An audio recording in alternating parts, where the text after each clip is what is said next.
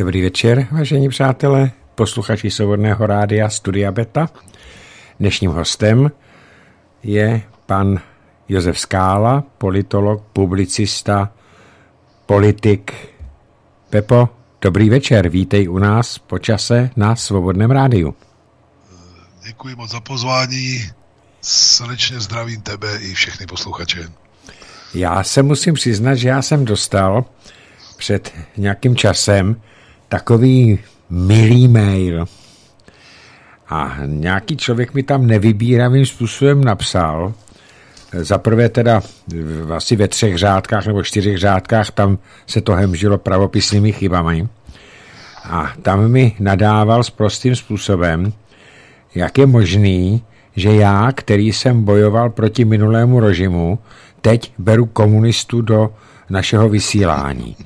A já jsem mu odpověděl, že já si vážím lidí, kteří stojí za všech okolností na svých pozicích, nepřevlékají kabáty, jsou čestní a za svou pravdu se ne, nebojí hádat a hájit ji.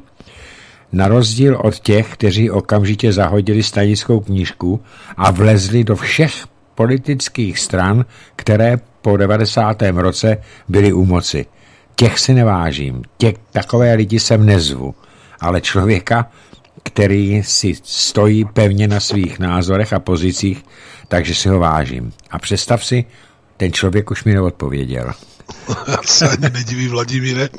Já si ze stejných důvodů vážím tebe a logika věci je železná a lidi, jako jsme my dva, dovedla i na velmi podobné a v něčem shodné pozice e, za dnešní situace.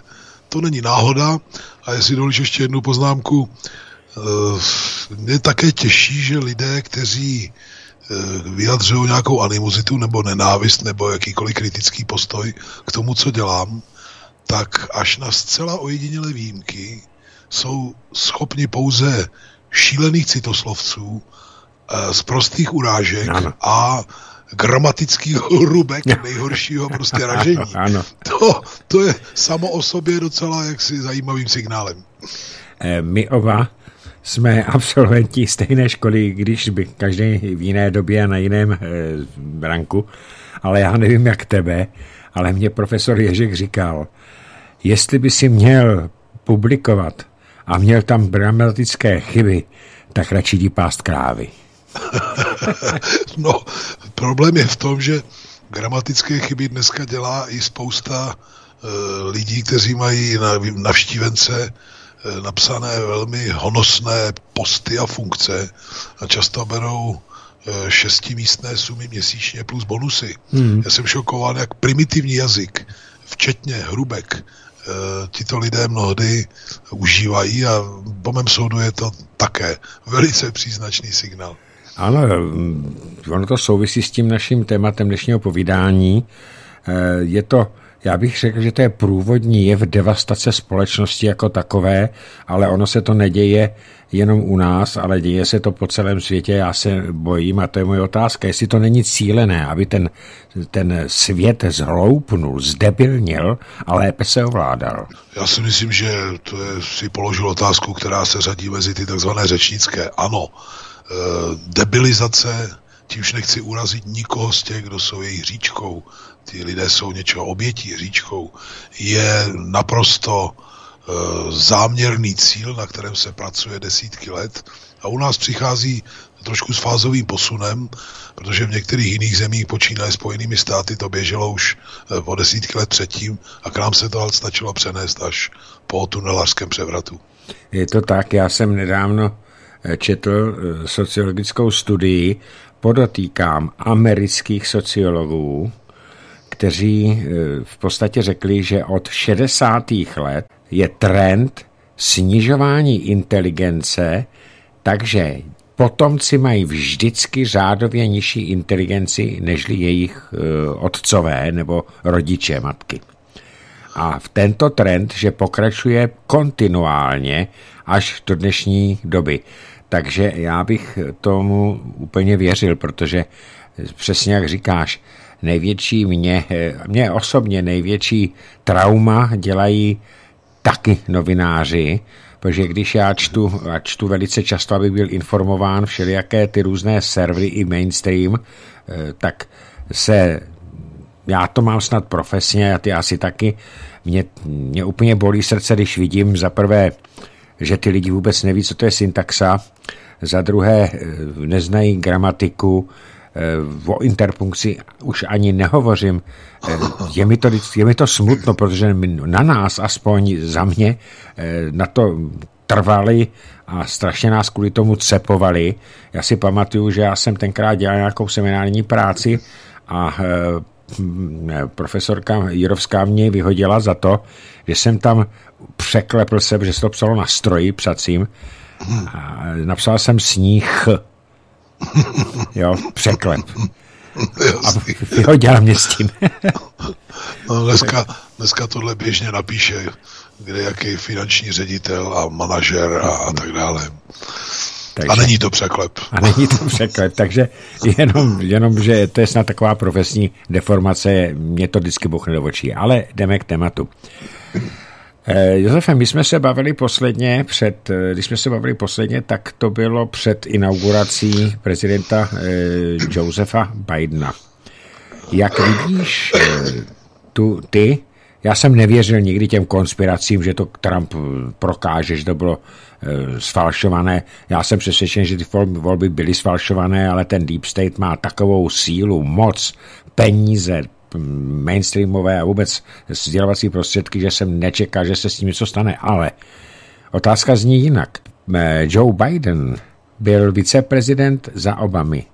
A jak známo, za vlády Obamy Amerika vedla, vedla celkem sedm válek a za to dostal Nobelovu cenu míru. Jak vidíš ty jeho nástup do funkce prezidenta v souvislosti s geopolitickou situací, protože Spojené státy ovlivňují situaci ve světě? Tak je to určitě obrat k něčemu nejenom horšímu, ale po mém soudu i velice nebezpečnému. Teď sice krátce po svém nástupu učinil jediný krok upředu ve vztahu k Moskvě, k Ruské federaci a spolu s Vladimírem Putinem se dohodli na prodloužení platnosti oné významné smlouvy o omezení strategických jaderných zbraní. Což někoho může zmást, že se jedná o signál nějakého trendu, že to bude holubička a ta jeho nástupkyně Kamala Harrisová taktéž. Obávám se, že to tak nebude.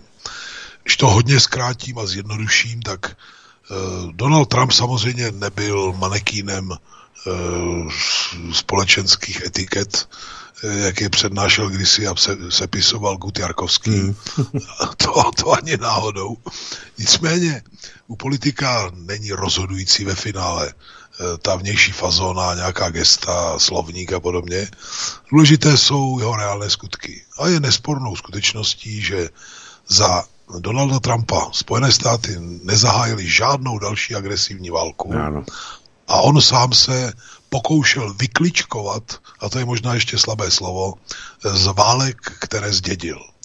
Podařilo se mu to bohužel jen velmi omezeně míře, protože neustále narážel na chapadla onoho Deep State, eh, která mu prostě házela klacky pod nohy. Eh, Donald Trump není ani svým životopisem nijak spjat s vojensko-průmyslovým komplexem, s válkami, které byly vedeny dřív, nepotřebuje za ně hledat žádné alibi. Jeho podnikání není ve sféře, která by jakoliv souvisela s vedením válek. Donald Trump měl, tomu lidé mnohdy nerozuměli, cíl America First no, no. a on tím, mínil, on tím mínil ne, že Amerika teď jako bude všude diktovat svoji vůli a vést války napříč světem, on z těch válek chtěl vykličkovat, protože velmi dobře věděl, v jak eh, neuvěřitelně špatné ekonomické a sociální situaci Spojené státy jsou a měl cíl je, jak se tomu někdy říká, reindustrializovat. Mm, mm, A bohužel se mu to podařilo jen málo, hodně mu v tom zabránila i ta takzvaná koronakrize, která on nutila podnikat úplně jiné kroky.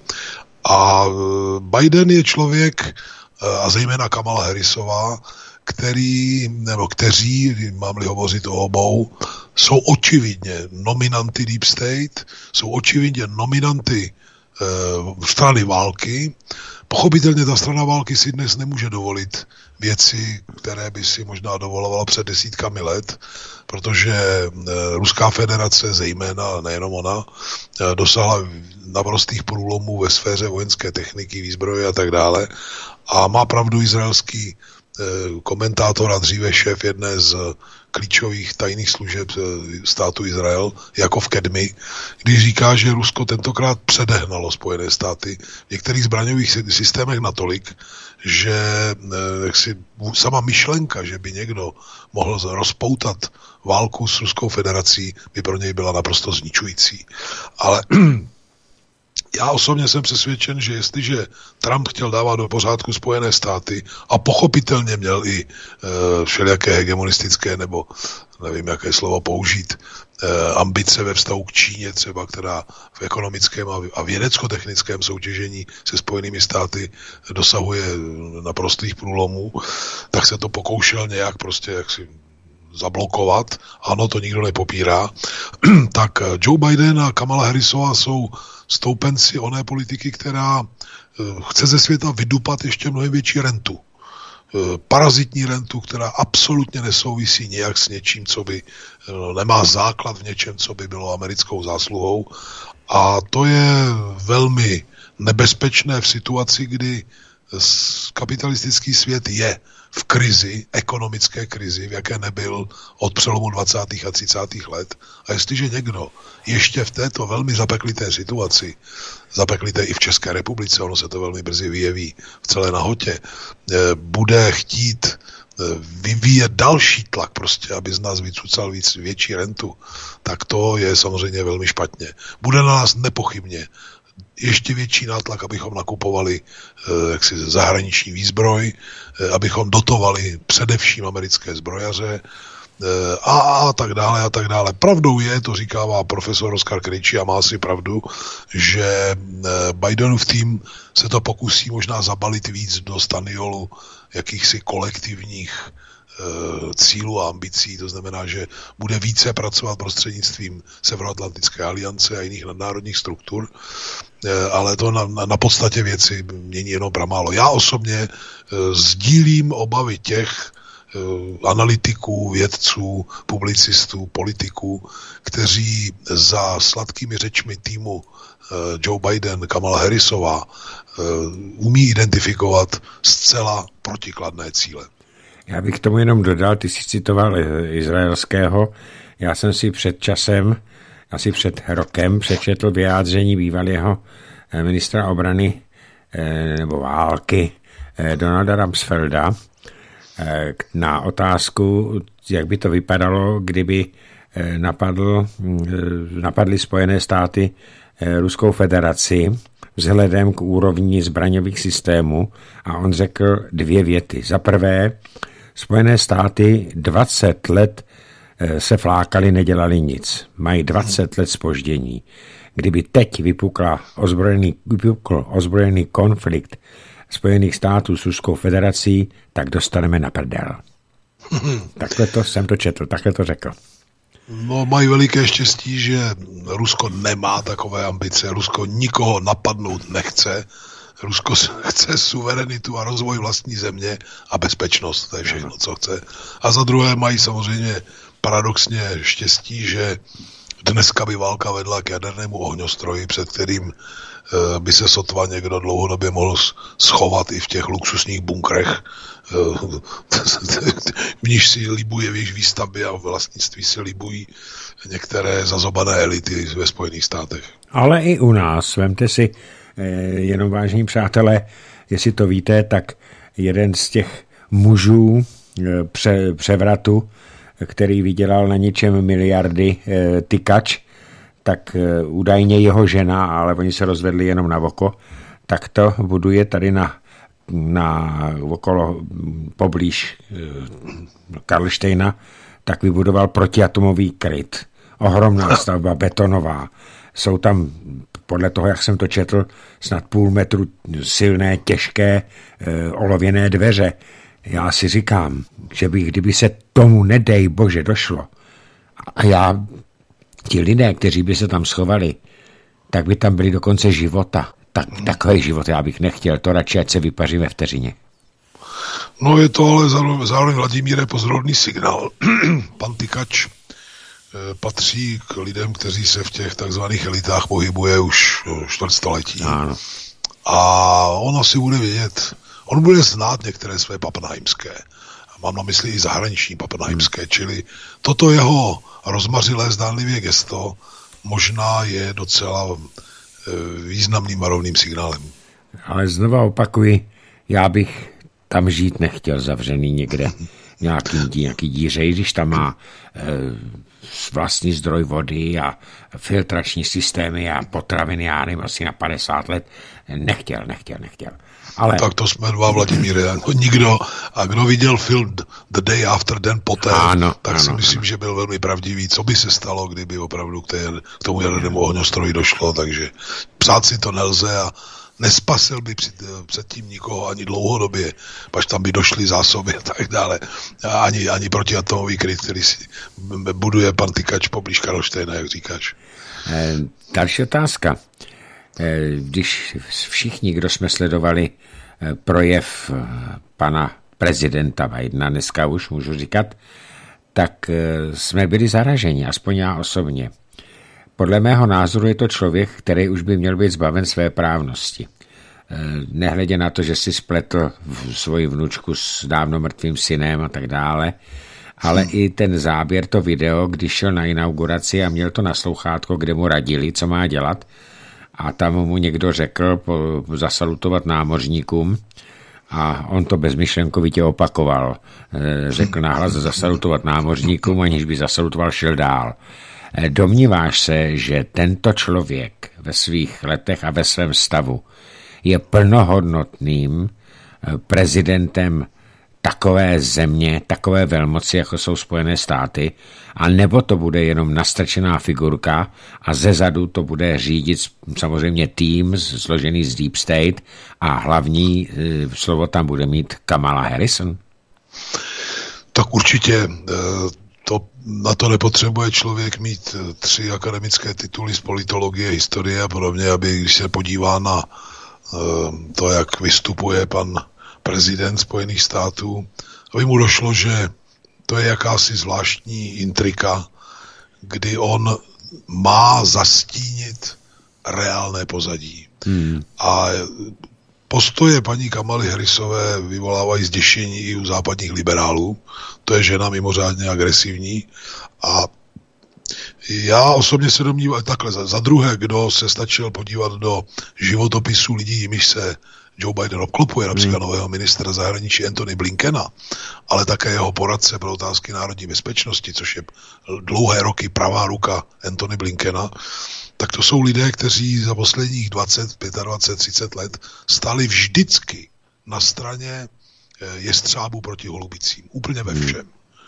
A já osobně jsem přesvědčen, že e, jsme svědky e, paradoxního opakování v úplně jiných kulisách toho, co se stalo ve Spojených státech v polovině 40. let minulého století. Připomenu tu epizodu, možná to někteří neznají. Když v létě roku 1944 se spojenci, mám na mysli Spojené státy, Britové, vylodili v Normandii, ano. tak krátce na to se konal mimo Washington, tuším v Minneapolis nebo kde, ten konvent, oni tomu neříkají kongres, ale konvent Eh, z, z příslušné partaje, kde byl po čtvrté nominován, eh, což je, vybočuje z americké jaksi, tradice a legislativy, Franklin Delano Roosevelt na kandidáta na prezidenta a také se tím prezidentem stal potom. A on na ten konvent ani nejel, on už byl v eh, docela si podlomeném zdravotním stavu a krom toho pochopitelně jeho prioritou bylo dohlížet na operaci v Normandii mm-hmm. a vzkázal svým kolegům, aby nominovali na viceprezidenta úplně jiného muže, než e, se tak nakonec stalo. To byl člověk, ministr zemědělství a potom jeho, jeho pravá ruka, který e, byl naprostým stoupencem Rooseveltovy politiky v mezinárodním měřítku, měl Eh, upřímný závazek pokračovat v konstruktivních férových stazích se všemi mocnostmi i zeměmi antihitlerovské koalice, tedy včetně Sovětského svazu. Ano, ano. Eh, kdyby k tomu došlo, jsem hluboce přesvědčen, že by žádná studená válka nebyla. Nicméně intrikáni to zařídili tak, že eh, uspořádali několik kol Eh, toho volebního klání na kandidáta, na viceprezidenta a nakonec podstrčili, jak to tak bývá, když jako nikdo ne, nebyl schopen eh, získat tu většinu, tak podstrčili uh, muže, kterého znal tehdy poměrně málo kdo, senátora Harryho Trumana, hmm. provinčního senátora. to se jim povedlo a kalkulace byla naprosto cynická. Oni počítali s tím, že Franklin Delano Roosevelt Eh, se nedožije konce svého funkčního období čtvrtého. A to na, na, na jejich kalkulaci došlo. Ten konvent se konal v létě, tuším, že v srpnu, možná se milím o pár dní, eh, roku 44 a Franklin Delano Roosevelt zemřel 12. dubna roku 45. Pár týdnů před skončením eh, druhé světové války. A ta, ta intrika vyšla, Spojené státy vyrazily úplně jinou cestou, Truman zastavil Eh, pomoc Sovětskému svazu 9. května odpoledne eh, a, a tak dále a tak dále, čili to, to, to je jiné téma a já jsem přesvědčen, že Joe Biden je eh, hříčkou nějaké podobné intriky, protože kdyby kandidovala Kamala Harrisová proti Trumpovi, tak samozřejmě nevyhraje. Ano, Ani těma podvodama. Biden je přece jenom známější člověk, už dělal všelijaké funkce, byl 8 let viceprezidentem, čili oni vsadili na tuto známější kartu s tím, že ať už já tím mu nechci přát nějaký brzkou smrt, ale eh, jeho zdravotní stav už teď je očividně takový, že reálně řídit tu zemi může ve velmi omezené míře a ať už eh, vydrží fyzicky do konce eh, toho funkčního období nebo ne, tak je zřejmé, že je vlastně takovou zástěrkou, za kterou budou tahat za mocenské páky úplně jiní lidé. Já bych ještě upozornil k tomu Harrymu Trumanovi, že nebejt tam tou zákulisní intrikou eh, ustanoven v podstatě viceprezidentem Truman za Roosevelta, eh, tak by nejenom pravděpodobně nedošlo ke studené válce, ale pravděpodobně by nedošlo ani ke svržení o to o obou atomových bomb. Protože, to bych podepsal, Vladimír. Protože to, já jsem o tom četl takový materiál, protože to prosazoval velice eh, právě Harry Truman a proto taky Eh, Spojené státy odmítali návrh kapitulačního protokolu eh, té japonské vlády, myslím, že to byl Tojo, která chtěli kapitulovat stejně jako kapitulovalo hitlerovské Německo a měli tam jednu podmínku, že císař Hirohito jako zbožštělý nebude pohnán před Mezinárodní soud a bude ponechán v čele Eh, japonského císařství. Tehdy na to Spojené státy nepřistoupily, protože neměli, aspoň tak jsem to přečetl, dodělaný obě dvě ty atomové bomby. Eh, Little Boy a Fat tlouštík. A eh, jakmile je svrhli, tak se píše, Odůvodňovalo to tím, že dobývání Japonska by bylo stálo 100 tisíce životů amerických vojáků. Není tomu tak. Oni Japonci chtěli eh, kapitulovat a hlavně oni nekapitulovali, prosím pěkně, a ty to jistě víš, eh, kvůli atomovým bombám, je jenom naštvali, ale kapitovali proto, že tam na ně vlítla sovětská rudá armáda a v podstatě během tří neděl devastovala takzvanou neporazitelnou manžuskou armádu a nezatežitelně se řítila do Japonska. Nakonec ta kapitulace v tom srpnu eh, stejně eh, vzešla tak, že ty američani toho císaře Hirohita z té e, mezinárodní ostudy a soudů vypustili, nechali ho tam a uznali ho jako, jako císaře. Konec konců v roce 1964 se mu klaněli američtí sportovci a vyslanci, když otevíral uh, olympijské hry v Tokiu. Říkáš to naprosto přesně, Vladimíre.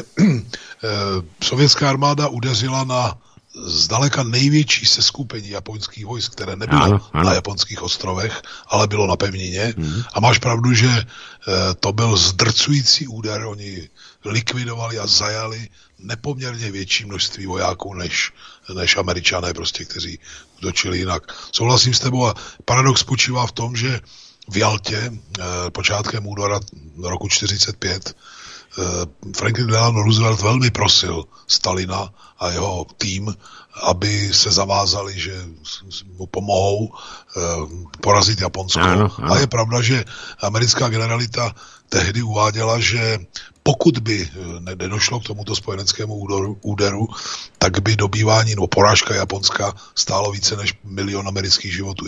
Je-li to pravda nebo ne, neumí posoudit, ano, ale taky to prostě uváděli. Ano, ano. Takže je zvláštní paradox, že když se vojska vedená maršály, jako byl eh, Malinovský a Timošenko a další, kteří předtím válčili proti Hitlerovi v Evropě, přesunula na východ a vyrazila proti Japoncům, tak najednou to, oč eh, Franklin Delano Roosevelt tolik prosil Moskvu, jak si už se nehodilo do krámu a, a máš pravdu, že nakonec tam hodili dvě atomové bomby, což byl krok eh, vůbec vojensky nezdůvodněný. Mimochodem byly hozeny na místa, kde žádná koncentrace japonské armády nebyla. Byli tam především civilisté. Ano, ano. A eh, z dokumentace, která mezi tím byla otajněna, eh, se potvrzuje, že cílem vůbec nebylo Japonsko. Cílem bylo zastrašit sovětský svaz. Přesně tak.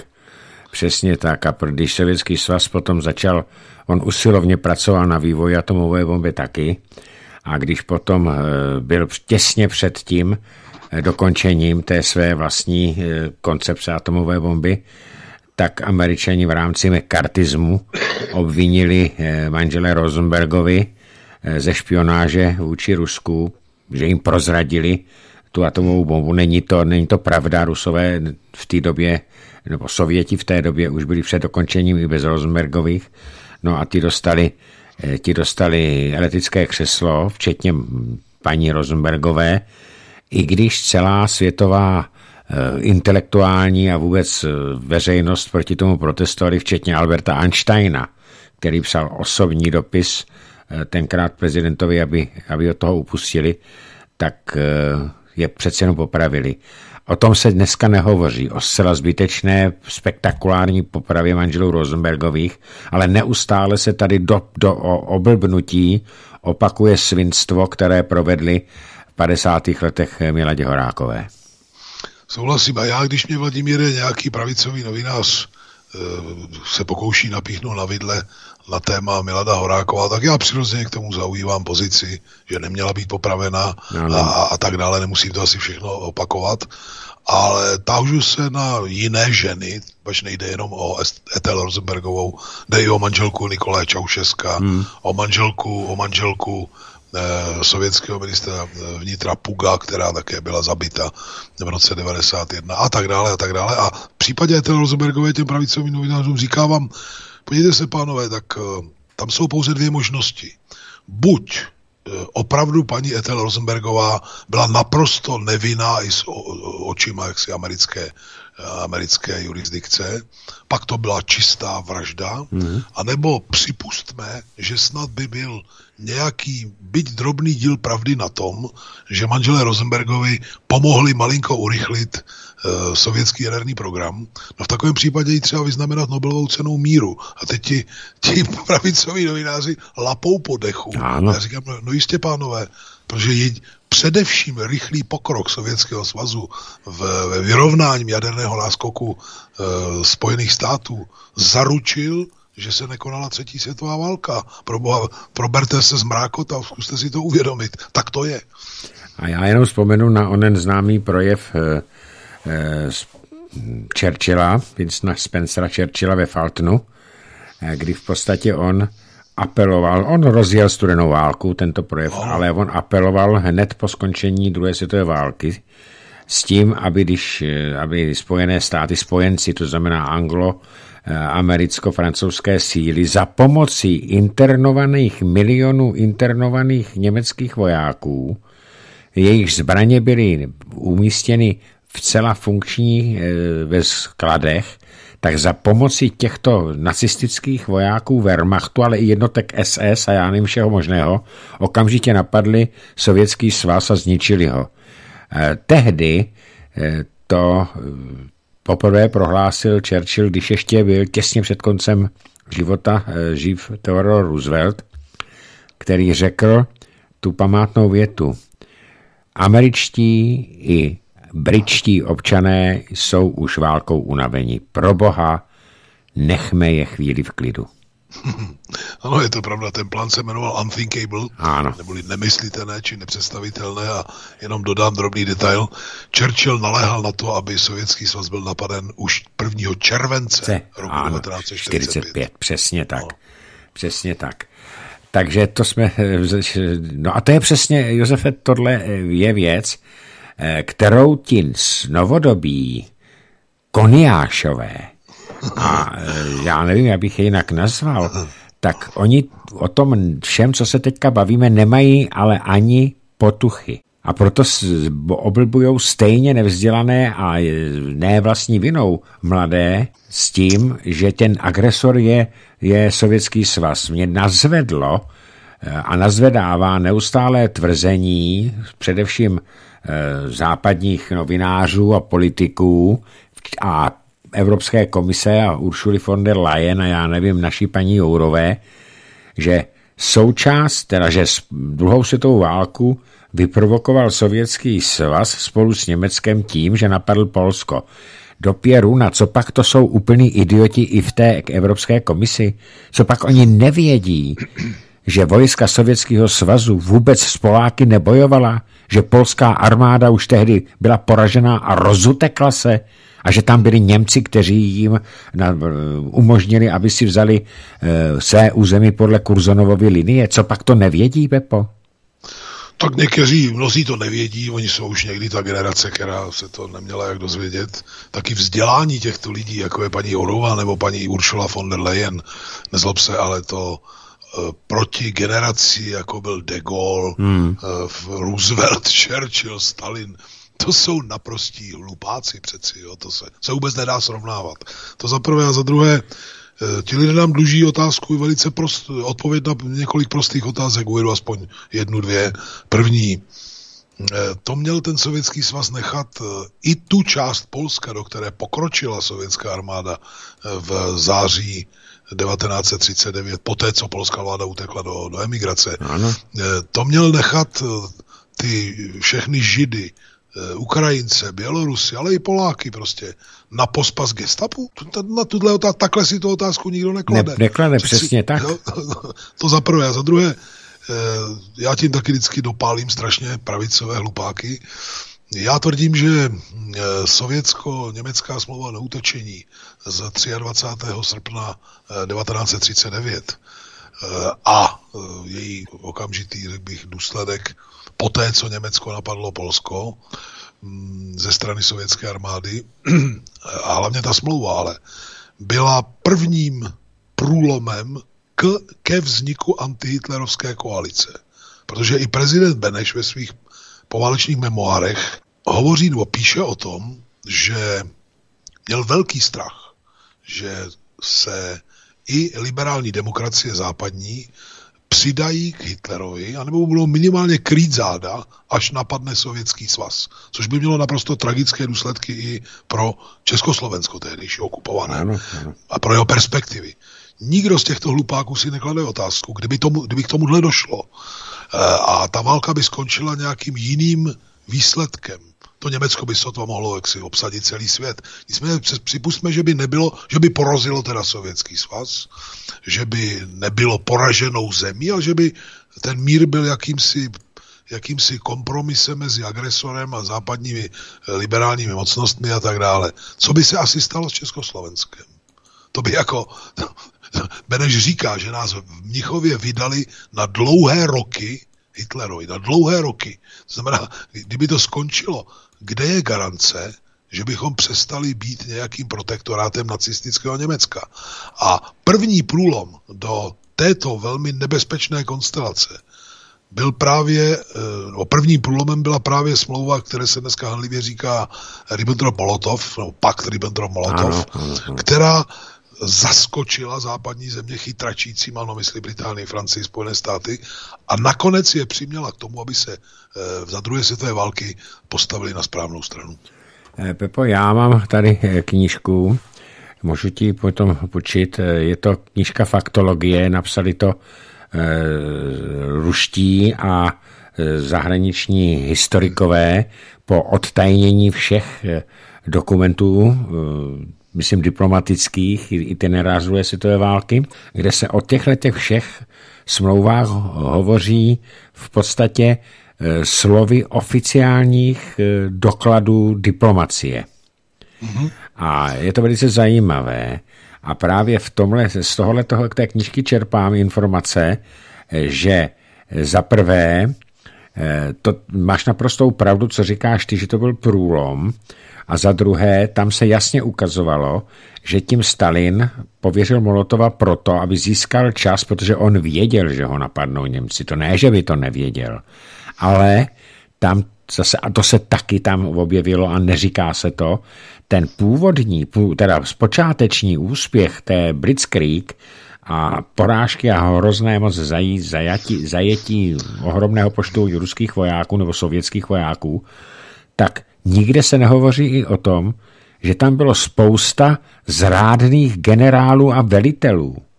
Proto se tam musela dělat ta čistka, protože oni zrazovali svou zemi. Já jsem se tam dozvěděl od jednoho telegramu, že Stalin psal tomu nějakému generálovi, jehož jméno mi vypadlo, eh, už je to delší dobu, co jsem to čet, musím se na to podívat, aby udělal teďka nějaký strategický eh, záměr a on mu řekl, že to nemá smysl, že se vzdávají. Hmm. tak eh, Vladimír, já navážu, když dovolíš, ty jsi slíbil, že se k tomuto tématu někdy příště dostaneme. Navážu ještě jednou věcí. Nedávno umřel v Moskvě ve věku asi 92 let nebo kolik, eh, pozoruhodný ruský teoretik, sovětský teoretik, kdysi eh, šéf-redaktor časopisu Komunist a tak dále, který eh, vydává, vydával tedy sebrané spisy Josifa Vysarionoviče hmm, Stalina, hmm. krom jiného. A tam má i dokumenty, které v těch takových oficiozních dřívějších děj, eh, spisech nebyly. Například včetně telegramu, který na, eh, poslal eh, Stalin Chruščovovi poté, co Chruščov se dožadoval, že o, ještě, když byla německá armáda velice daleko, takže vyhodí do povětří všechny fabriky prostě a, a v podstatě to zlikviduje a uteče. Stalin ho velice tvrdým slovníkem uzemnil a řekl, vážený soudruh Chruščové, vy se budete starat o to, aby ten, ten, ty, ty, ta technika, ty stroje a to vybavení těch závodů byly organizovaně odváženy na východ a povoluji vám jakékoliv demolice a destrukční uh, akce teprve poté, co se německá armáda přiblíží na 80 km od daného místa. Hmm. Do té doby chraň vás pambu. Hmm. Jo? Hmm. Čili no, to byli nejenom, nejenom uh, někteří důstojníci vysocí, ale byli to i politici, kteří potom si svůj vztek samozřejmě na svého tehdejšího šéfa vylévali. Je to tak. Pojďme k současné době. Uh, já, my jsme se tady, Pepo, bavili před, uh, před Vánoci o tom, že nevěříme slibu Andreje Babiše a podmínce předsedy KSČM Filipa na podporu rozpočtu šíleně deficitního, že 10 miliard vzali, vláda vzala z rezortu obrany a dala ho do rezervy vlády. Oba jsme se shodli na tom, že není, nebude dlouho trvat a zase to ty obraně dají. Dneska jsem se dočetl, že do konce ledna dostane obrana z těch 10 miliard 5 miliard a průběhu února druhých 5 miliard zpátky. Hmm. To znamená, že on si pan eh, Babiš a vlá, vláda ANO a KSČM eh, s panem Filipem doslova a teď je eh, úzkostliví eh, posluchači prominou, doslova vytřeli zadek. No, ty volíš slovník, Vladimíre, který já jsem, já jsem mu řekl po, jen poněkud decentněji, že z nás komunistů eh, si tento, tento společný postup obou pánů eh, nás změnil v toaletní papír. Jo, tak to je v podstatě hmm, ano, to tež. To tež ano. My jsme dělali, ne my, abych to v životě takhle nepáchal, dlouho užitečného idiota. A tato kauza, respektive to, co se odehrálo koncem roku, přerostlo v naprosto obludný skandál. A to v případě obou e, klíčových bodů, které projednávala sněmovna. Tím prvním byl da, byla reforma daní, když to tak řeknu, hmm. tedy zrušení superhrubé mzdy a nové, nová kon, konstrukce prostě daňového systému, která opět zvýhodňuje ty nejbohatší proti těm, kdo mají hluboko do kapsy. Lidé to asi vědí, eh, to je prostě, kdy bere někdo kolem 20 tisíc, tak mu čistého přibude lehce přes tisíc korun. bere někdo 80 tisíc a víc, tak mu přibude téměř 5 tisíc a víc korun měsíčně. Eh, naprosto pro, pro levicovou stranu, natož pak radikálně levicovou, je hlasovat pro něco takového naprostý skandál.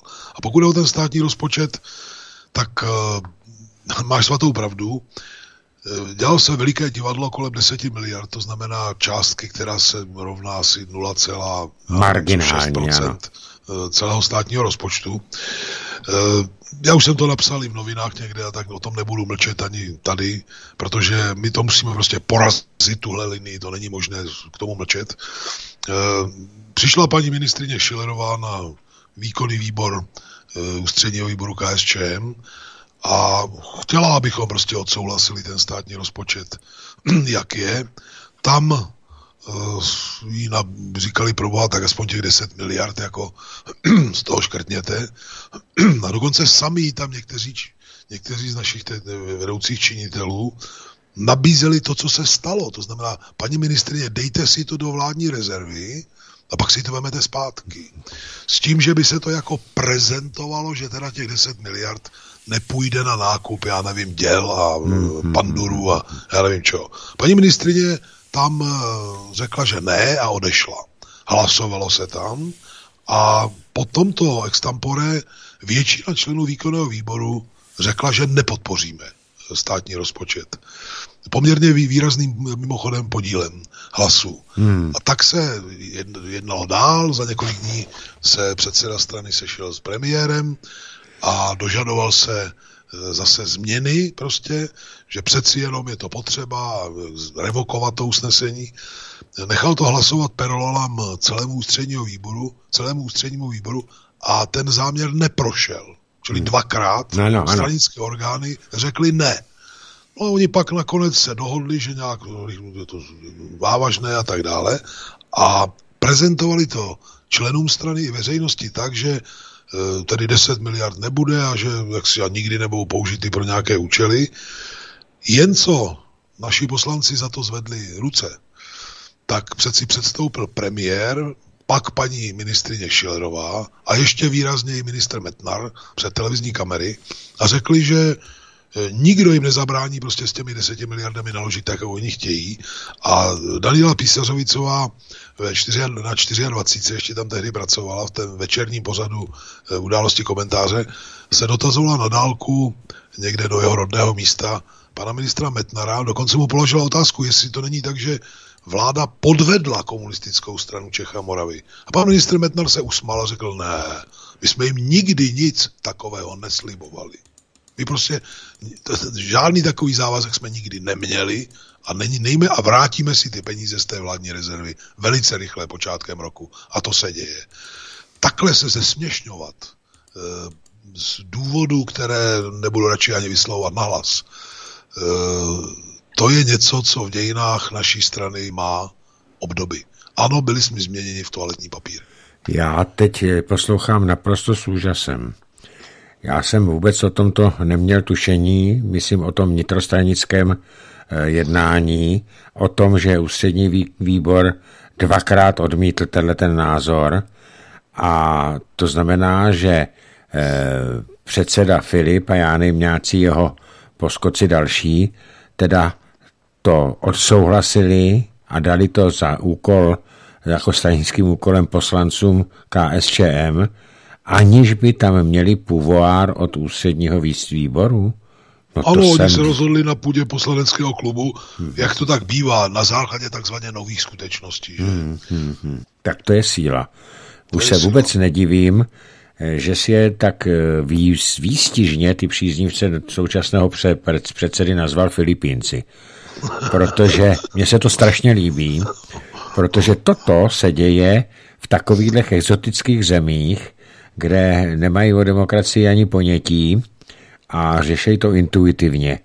Protože aby někdo jednal v rozporu s přáním nadřízeného orgánu, protože jestli se nepletu a ptám se tě, eh, je ústřední výbor vyšším než předseda úřadem nebo institucí? Samozřejmě, no tak my máme ve stanovách, že jsme demokratická strana a že usnesení o závažných otázkách se přijímají kolektivně hmm. a předseda o toho, aby plnila vedení strany, místo předsedové a tak dále, aby plnili svoje, eh, aby plnili to, co jim, co se usnese kolektivně. A za druhé, Pochopitelně zákon říká, že poslanec si ve finále může dělat, co chce, ale my přeci navrhujeme lidi na kandidátky eh, do poslanecké sněmovny pod závazkem, že nebudou jednat jinak, než jak rozhodne strana, za kterou tam jsou. No a tady ovšem to nebylo proti vůli, že by, že by jako třeba předseda a místo předsedové říkali nehlasujte pro to a oni by se urvali ze řetězu. Ne, ne tady ne. postupovali pod vedením svého předsedy. Ano, opačně. Tak ono to je v celku nejenom u KSČM, to je u každé strany eh, ve sněmovně a v podstatě u každé strany, která ve sněmovně kdy byla od eh, toho, od toho podvodu listopadového, tak eh, tam ti poslanci musí přeci hlasovat v rámci programu, za který byli zvoleni. To znamená v rámci té strany nebo hnutí. Samozřejmě se vždycky najdou zrádci, ale je to první případ, který já vím, že ústřední výbor děl rozumný názor a předseda a na klubu a předseda klubu eh, poslaneckého to změnili. To muselo členstvo eh, KSČM, jestli máš, to je moje otázka, jestli máš nějaké informace, co na to říkali členové KSČM. Vždyť těm se musela otevírat kudla v kapse, že se ze sebe nechali udělat takhle směšný poskoky. Samozřejmě tak eh, reakce uvnitř strany, zejména od lidí, které politika neživí a ti tvoří drtivou většinu, je dvojí. Jedni eh, neskrývají své rozhořčení a dožadují se zásadních změn, co možná brzy, a druzí v podstatě už nad tím zlomili hůl a říkají, že už, že už se s tím nedá nic dělat a že to prostě špatně dopadne. Neumím přesně odhadnout uh, poměr mezi těmito dvěma skupinami. No, je to trošku dáno tím, že jak je notoricky známo, eh, my, my máme poměrně vysoký podíl členů v důstojném věku hmm. a je pochopitelné, že když někomu je 78, 82 a mnohdy i víc, my máme i stoleté členy, yeah. tak, tak eh, že logicky v tomto věku člověk eh, jaksi ne, nevstupuje do nějakých konfliktů a spíše věci chce jaksi uhladit a e, vyhnout se nějakým kontraverzním situacím. A já se těm lidem za to neposmívám. Já nevím, jestli se dožiju takového věku, možná budu stejný, možná na to budu ještě hůř. Ale e, lidé, kteří e, jsou v aktivním nějakém, řekl bych, zdravotním stavu a připustné věku, což je vždycky velmi individuální, tak drtivá většina z nich je naprosto rozhořčena. A já tu teda zveřejním jinou věc, protože jde skutečně o všechno v naší straně. Eh, náš předseda si usmyslel před dlouhým časem, že se bude jmenovat volebním manažerem strany. Jsme takovou funkci nikdy neměli. Hmm. U nás vždycky rozhodovali ty orgány a vedoucí představitelé a ti zadávali zakázky, já nevím, eh, tiskárnám, PR agenturám a tak dále, médiím, nějaké reklamní prostě fotografie s texty a podobně.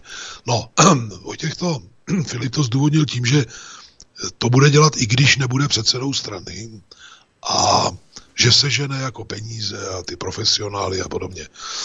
Napřed se o tom hlasovalo na výkonném výboru a dopadlo to nerozhodně 7 ku 7, hmm.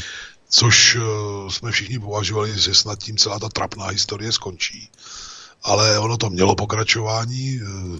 V podstatě za zády prvního místa předsedy, který v tu chvíli marodil, bylo přes zpřízněné duše předsedy vyvoláno hlasování per rolam celého ústředního hmm, výboru. Hmm. A to dopadlo způsobem, který kdyby se stal mně nebo komukoliv, kdo, komu ne, ne, nechybí osobní integrita, tak já bych vskočil do kanalizace a dlouho bych z ní nevycházel. Ze 71 hlasujících návrh, aby se Vojtěch Filip stal volebním manažerem strany, podpořilo 21 lidí. 21 hmm. ze 71. Jo. Já, já nevím, jak, kde je hranice Eh, Bezostyšnosti.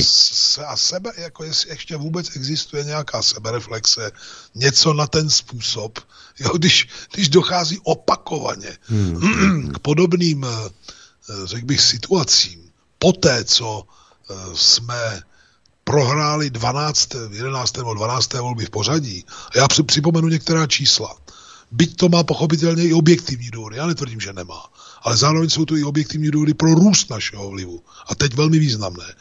V době, kdy Vojtěch Filip přebíral žezlo stranické, měli jsme 41 poslanců v poslanecké sněmovně, pokud se nemýlím, tak tehdy ještě tři senátory, dva nebo tři.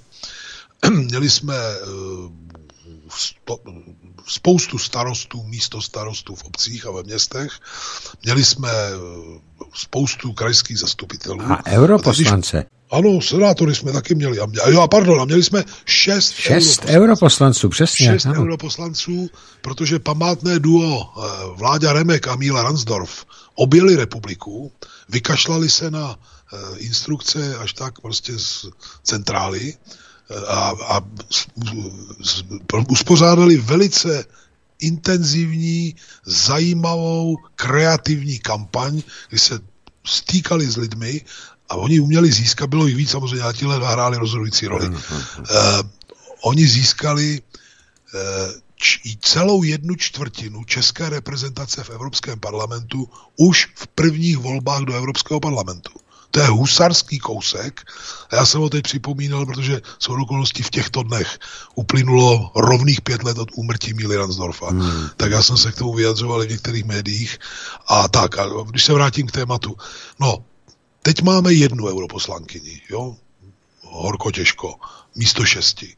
Měli jsme ještě do října roku 2016 100, tuším 78, možná se pletu v detailu, krajských zastupitelů a byli jsme součástí zprvu devíti a pak osmi takzvaných krajských vlád. Hmm. To znamená, že jsme seděli v radách krajských zastupitelstev, měli jsme dokonce hejtmana, měli jsme řadu vicehejtmanů a spoustu radních. A měli jsme i spoustu eh, předsedů výboru krajských zastupitelstev, což je mimochodem i jaksi finančně velice voňavá funkce, eh, let, kde ti lidé berou v podstatě stejně jako poslanec. Hmm. Jo? Hmm.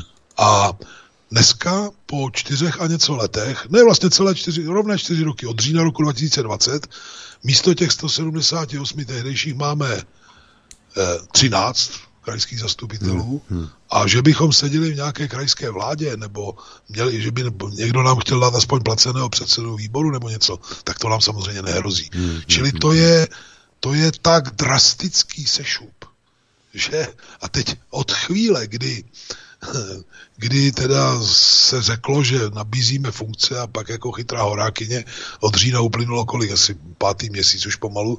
A ve funkcích jsou stále ty samé tváře a neví se, kdy vůbec jako může dojít nějaké změně, pač je tu koronakrize a podobně, tak volební průzkumy už téměř e, systematicky, soustavně, jaksi bez výjimek dopadají tak, že my máme méně než klíčových 5% eh, jaksi preferencí. Což by v říjnu znamenalo, že poprvé v dějinách, nebudu-li počítat nacistický protektorát, eh, nebudeme parlamentní stranou.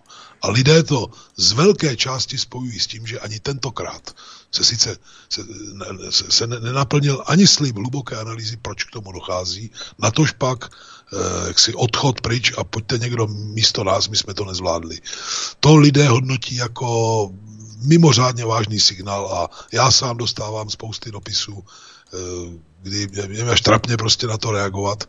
Eh, mě to může potěšit osobně tím, že mi píšou i lidé, kteří eh, jak si říkají, my jsme vás volili dlouhý roky a teď už teda celá rodina nás volit nebude a kdybyste tam byli, tak my vás budeme volit, no tak to člověka potěší. To dokonce takové dopisy dostávám i od lidí, kteří říkají na rovinu, my jsme vás nevolili nikdy, hmm. ale v téhle situaci pokud byste to bylo no tak my vás bude, volit budeme, jo. Tak to, já, já těm lidem za to nedávám ani lízátko, já většinu z nich ani neznám, čili to asi nebude nějaká nastražená jako akce, to, to bude zřejmě míněno spontánně. Mm, Já si kvůli tomu, jak si mě, kvůli tomu hlava neroste do nebe, ani si nechci postavit pomník ze žuly. To není až tak o mé genialitě, jako o tom, jak zoufalém stavu je to teďko. Já jsem nedávno četl, Josefe, takový od jednoho politologa postesknutí, že v podstatě nemáme na české politické scéně pravověrnou levici. On ten politolog připouští, že se stírá rozdíl mezi levicí, pravicí, středem, nicméně takovou stranu, která by zastupovala e, pracující lidi, což byla doména především KSČM a sociální demokracie, takže tyto dvě strany se od nich v podstatě od, odklonili. Hodili je zkrátka hm, k ledu vykašlali se na ně. A že ani ta sociální demokracie, ani KSČM nemají šanci se dostat přes 5% a do sněmovny. Eh, domnívám se, že ČSSD je totálně, totálně zlikvidované a oni už s tím počítají. Takže se tam předseda pan Hamáček prsí občas, jak něco udělá, ale jinak nemají šanci. Teď se chtějí spojovat se zelenými, no to tomu dají.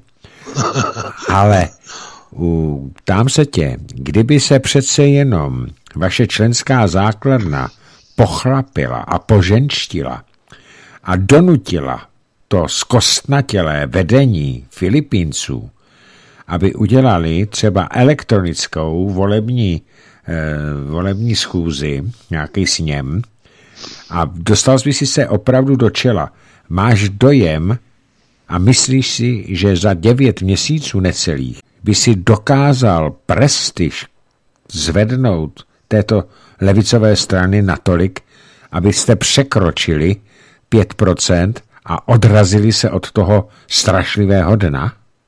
Hm. Vladimíre, nemáš nějaké jednodušší otázky? já, já, já, já řeknu, tak to řekni v krátkosti, už nám ano, končí čas první hodiny. já ti to řeknu tak. Já jsem si vědom možná víc, než kdokoliv to sleduje z povzdálí, eh, jak neuvěřitelně obtížný by to byl úkol. Ano. Jsem si vědom, že kdokoliv dostane tento mandát, tak eh, je do jisté míry politický sebevrah, protože se mu může stát, že to, co eh, postupně je devastováno dlouhé roky, má taky svoji setrvačnost hmm. a kdyby se rozkrájel, tak možná, že za ten krátký čas, jak ho správně popisuješ, v němž mimochodem dva měsíce představují prázdniny ještě hmm. navíc, kdy no. ta politická aktivita je limitována. A navíc je tu řekl bych, eh, omezena, jsou tu značná omezení veřejné jakékoliv aktivity. To znamená, že bojovat o voliče můžeš v podstatě hlavně prostřednictvím médií a dovedu si představit, že pokud bychom dokázali vyhrát eh, jaksi střed o vedení strany, takže lidem, eh, kteří budou chtít dělat skutečně radikální levicovou politiku, média rozhodně, ta, ta mainstreamová média rozhodně nebudou přát hmm. a budou kombinovat řekl bych, embargo na naše vystupování ve, ve vlivných pořadech s nějakými kampaněmi, jak, jak jsme lupáci a zločinci a podobně. Je to, je to mimořádně nelehká situace. A já ovšem eh, dostávám znovu a znovu dopisy, telefonáty a podobně od lidí, kteří chtějí, abychom to nevzdali. A protože jsem se s Vojtěchem Filipem střetnul ten post předsedy už dvakrát na sjezdech a prohrál jsem o pár hlasů, tak uh, nějak prostě tu naději spojují, nebo nejenom možná proto, spojují hlavně se mnou. Takže já mám morální povinnost do toho jít hmm. téměř za jakýchkoliv okolností. Svědomím, že to může nedopadnout a že pak nějaký posměváček bude říkat, podívejte se na něj, to, byli, to bylo řečí a vidíte ten výsledek a tak dále. Kdybych teď řekl, že uh, to vzdávám, tak by mě spousta lidí proklela a uh, řekl bych doživotně a dokonce nemalá část strany by přestala dělat už cokoliv. Už by nedělala nic. Hmm, hmm jo. Hmm, hmm, Ty to, to, je, to je no. neuvěřitelně hloupá situace. Je. Já jsem si vědom osobního rizika, které je s ní spojeno.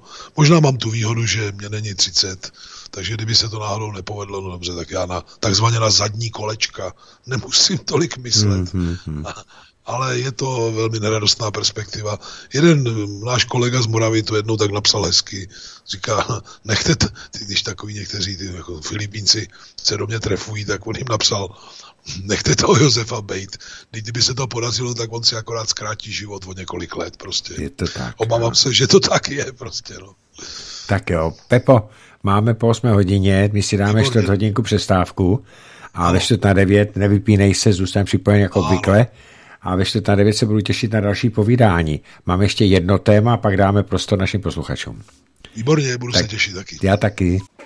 Je po přestávce a já volám Josefa Skálu. Pepo, slyšíme se? Ano, slyšíme se velmi dobře, Vladimíre. Ještě jednou dobrý večer.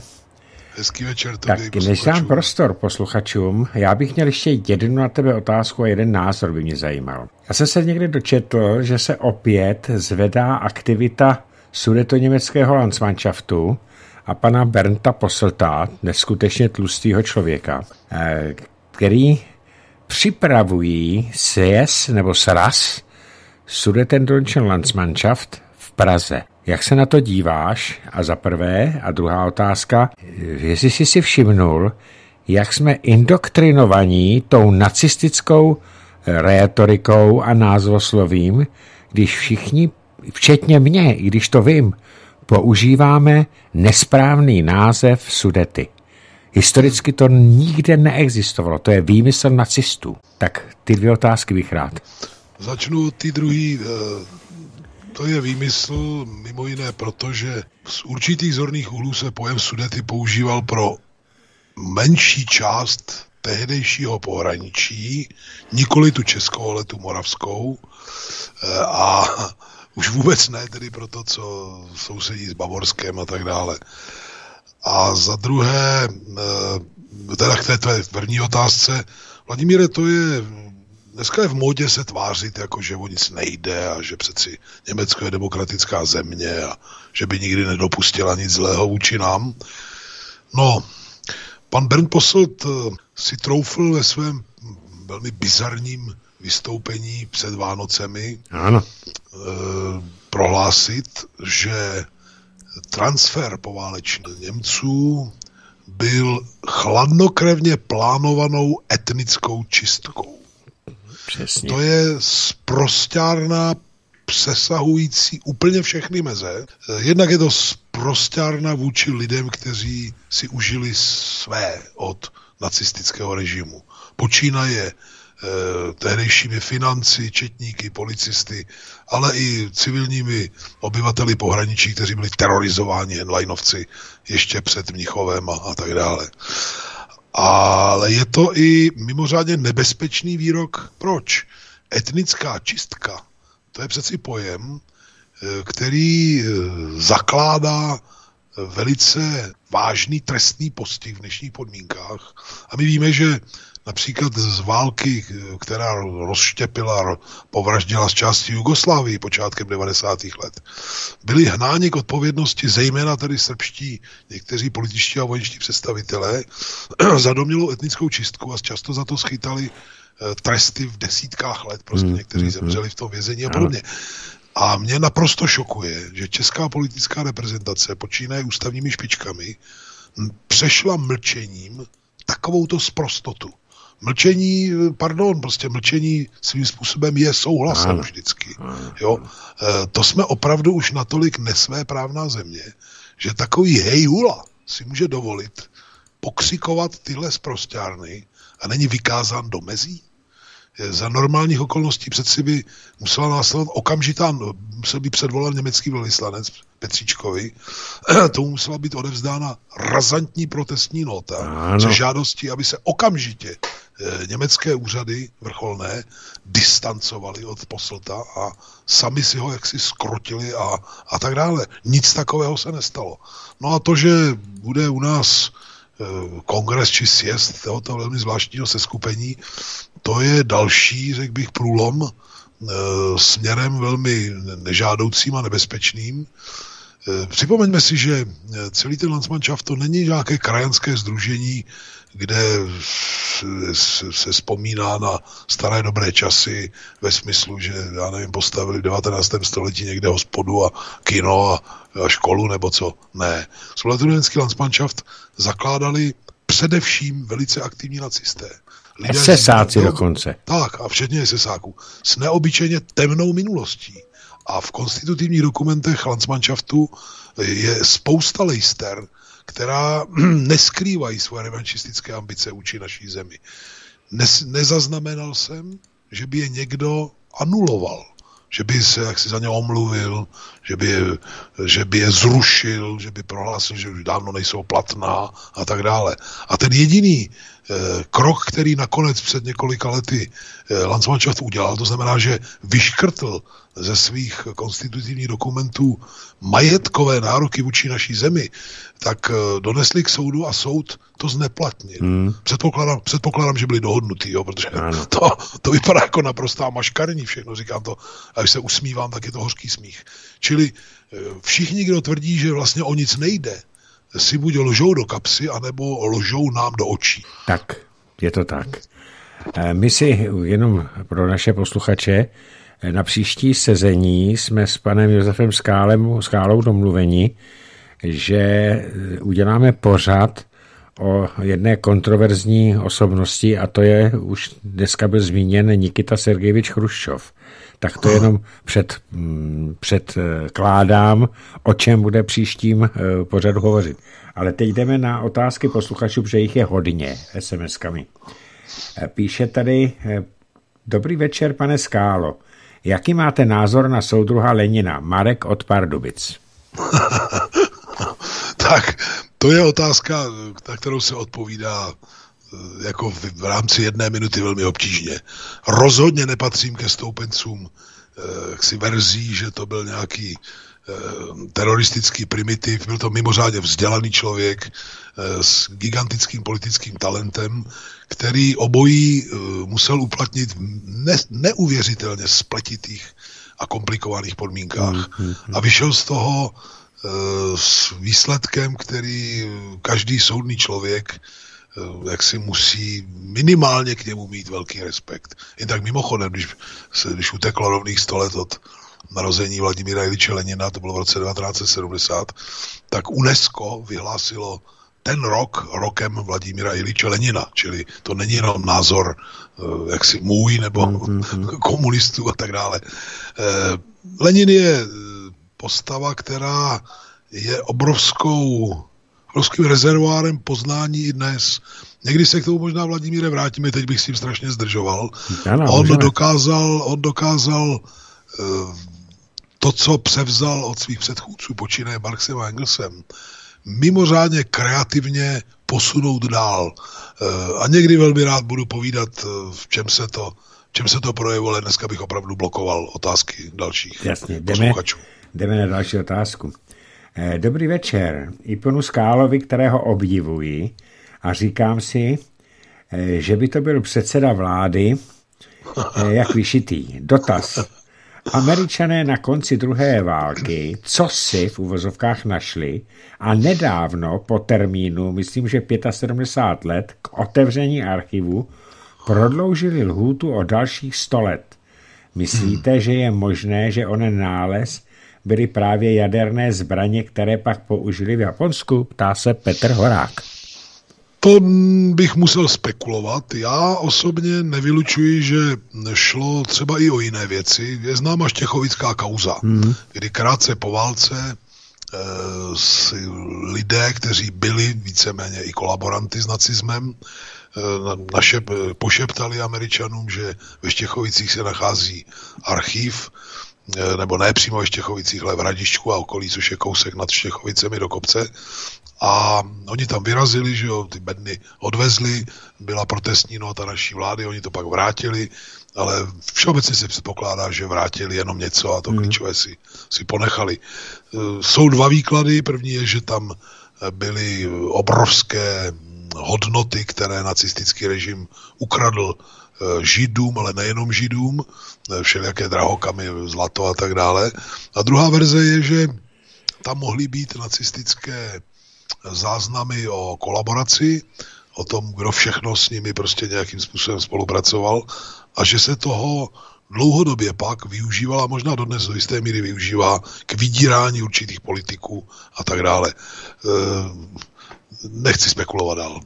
Jenom se zeptám, já jsem někde četl, že tam skutečně byly nějaké ty seznamy, které potom využíval ve své organizaci GLN. To předpokládám, že by to tak mohlo být, protože e, například na Ukrajině ještě roky, a zejména na západní Ukrajině, roky po druhé světové válce dohasínal, ale to dohasínal je slabé slovo, v podstatě ozbrojený odpor eh, banderovců tehdejších, mm, mm, mm. kteří se spolčili s nacistickým Německem proti legálním institucím, prostě proti individuálním představitelům eh, sovětské, sovětské moci prostě v těch, těch zemích a spousta obětí na životech. A mimochodem uh, užili si svoje i Poláci tehdy od nich. Jo? Čili ano a Gelen řídil. Galen byl ten, kdo měl za velkou zásobarnu, i kdyby to neměl z těch Čechovic, velkou zásobarnu své agentury a svých mm. kompromitujících a jiných dokumentů z války a i některé liberální dějiny CIA a podobně přiznávají, že to byla velmi důležitá munice pro podvratnou činnost proti našim zemím. Já jsem taky někde četl, to je moje další otázka, než zase půjdu k otázkám posluchačů, že moderní, současné nebo tehdy eh, se změnilo CIA právě zásluhou Galena, který nikdy nebyl eh, souzen a dožil ve Spojených státech. Ano, tak on, si, on měl luxusní životní podmínky, nehledě na děsivou roli, kterou se hrál za druhé světové války, zejména teda na sovětské frontě. Mm. Eh, on v podstatě velel těm, těm Einsatz, Einsatzgruppen, ano, ano. Které, které, byly, které byly pověřeny uh, brutální likvidací. Jaksi, Slovanského obyvatelstva Ruska. Tak, ale samozřejmě hlavně uh, představitelů jaksi, strany, státu, hmm, hmm, židovské populace a tak dále. Jo. Čili uh, to, to byl člověk, který měl na, na, na rukou potoky krve. Hmm. A američané ho převzali bez nejmenšího uzardění a využívali ho k podvratné činnosti proti nám. Tak oni nemusíme chodit daleko. Eh, podívej se, kolik krve měl na rukách eh, vynálezce V1 a V2. Ano. A eh, potom nakonec byl velmi úspěšný a byl to otec, mám na mysli Wernera von Brauna, a potom to byl nakonec otec jejich vesmírného programu. Ano, to je svatá pravda. Já jsem viděl se i dokonce s, eh, dokumentární film, eh, jak tam on stál za těmi údajnými misemi na, na měsíc. Ano, je to možné. Je to možné. Tak eh, další dotaz. Jinak, vážení přátelé, můžete panu Skálovi i volat. Telefon s číslem 731 720 756 je zapnutý. Ale je to úplně jedno, já vemu SMSky. Zdravím do studia. Pane Skálo, jaký názor máte na neustále prodlužování nouzového stavu, který projde jen s podporou KSČM? Proč to komunisté dělají, když ani podmínku, kterou si posledně dali, a to návrat dětí do škol a otevření ski areálů, vláda nesplnila? Myslíte si, že dnešní avizované zpřísnění vládního opatření vyžene lidi do ulic? A co petice Blanický manifest, revolty organizace Chcípl pes, bude mít nějaký výsledek? Děkuji za odpověď a za velmi zajímavé povídání, píše Hana z Jižních Čech.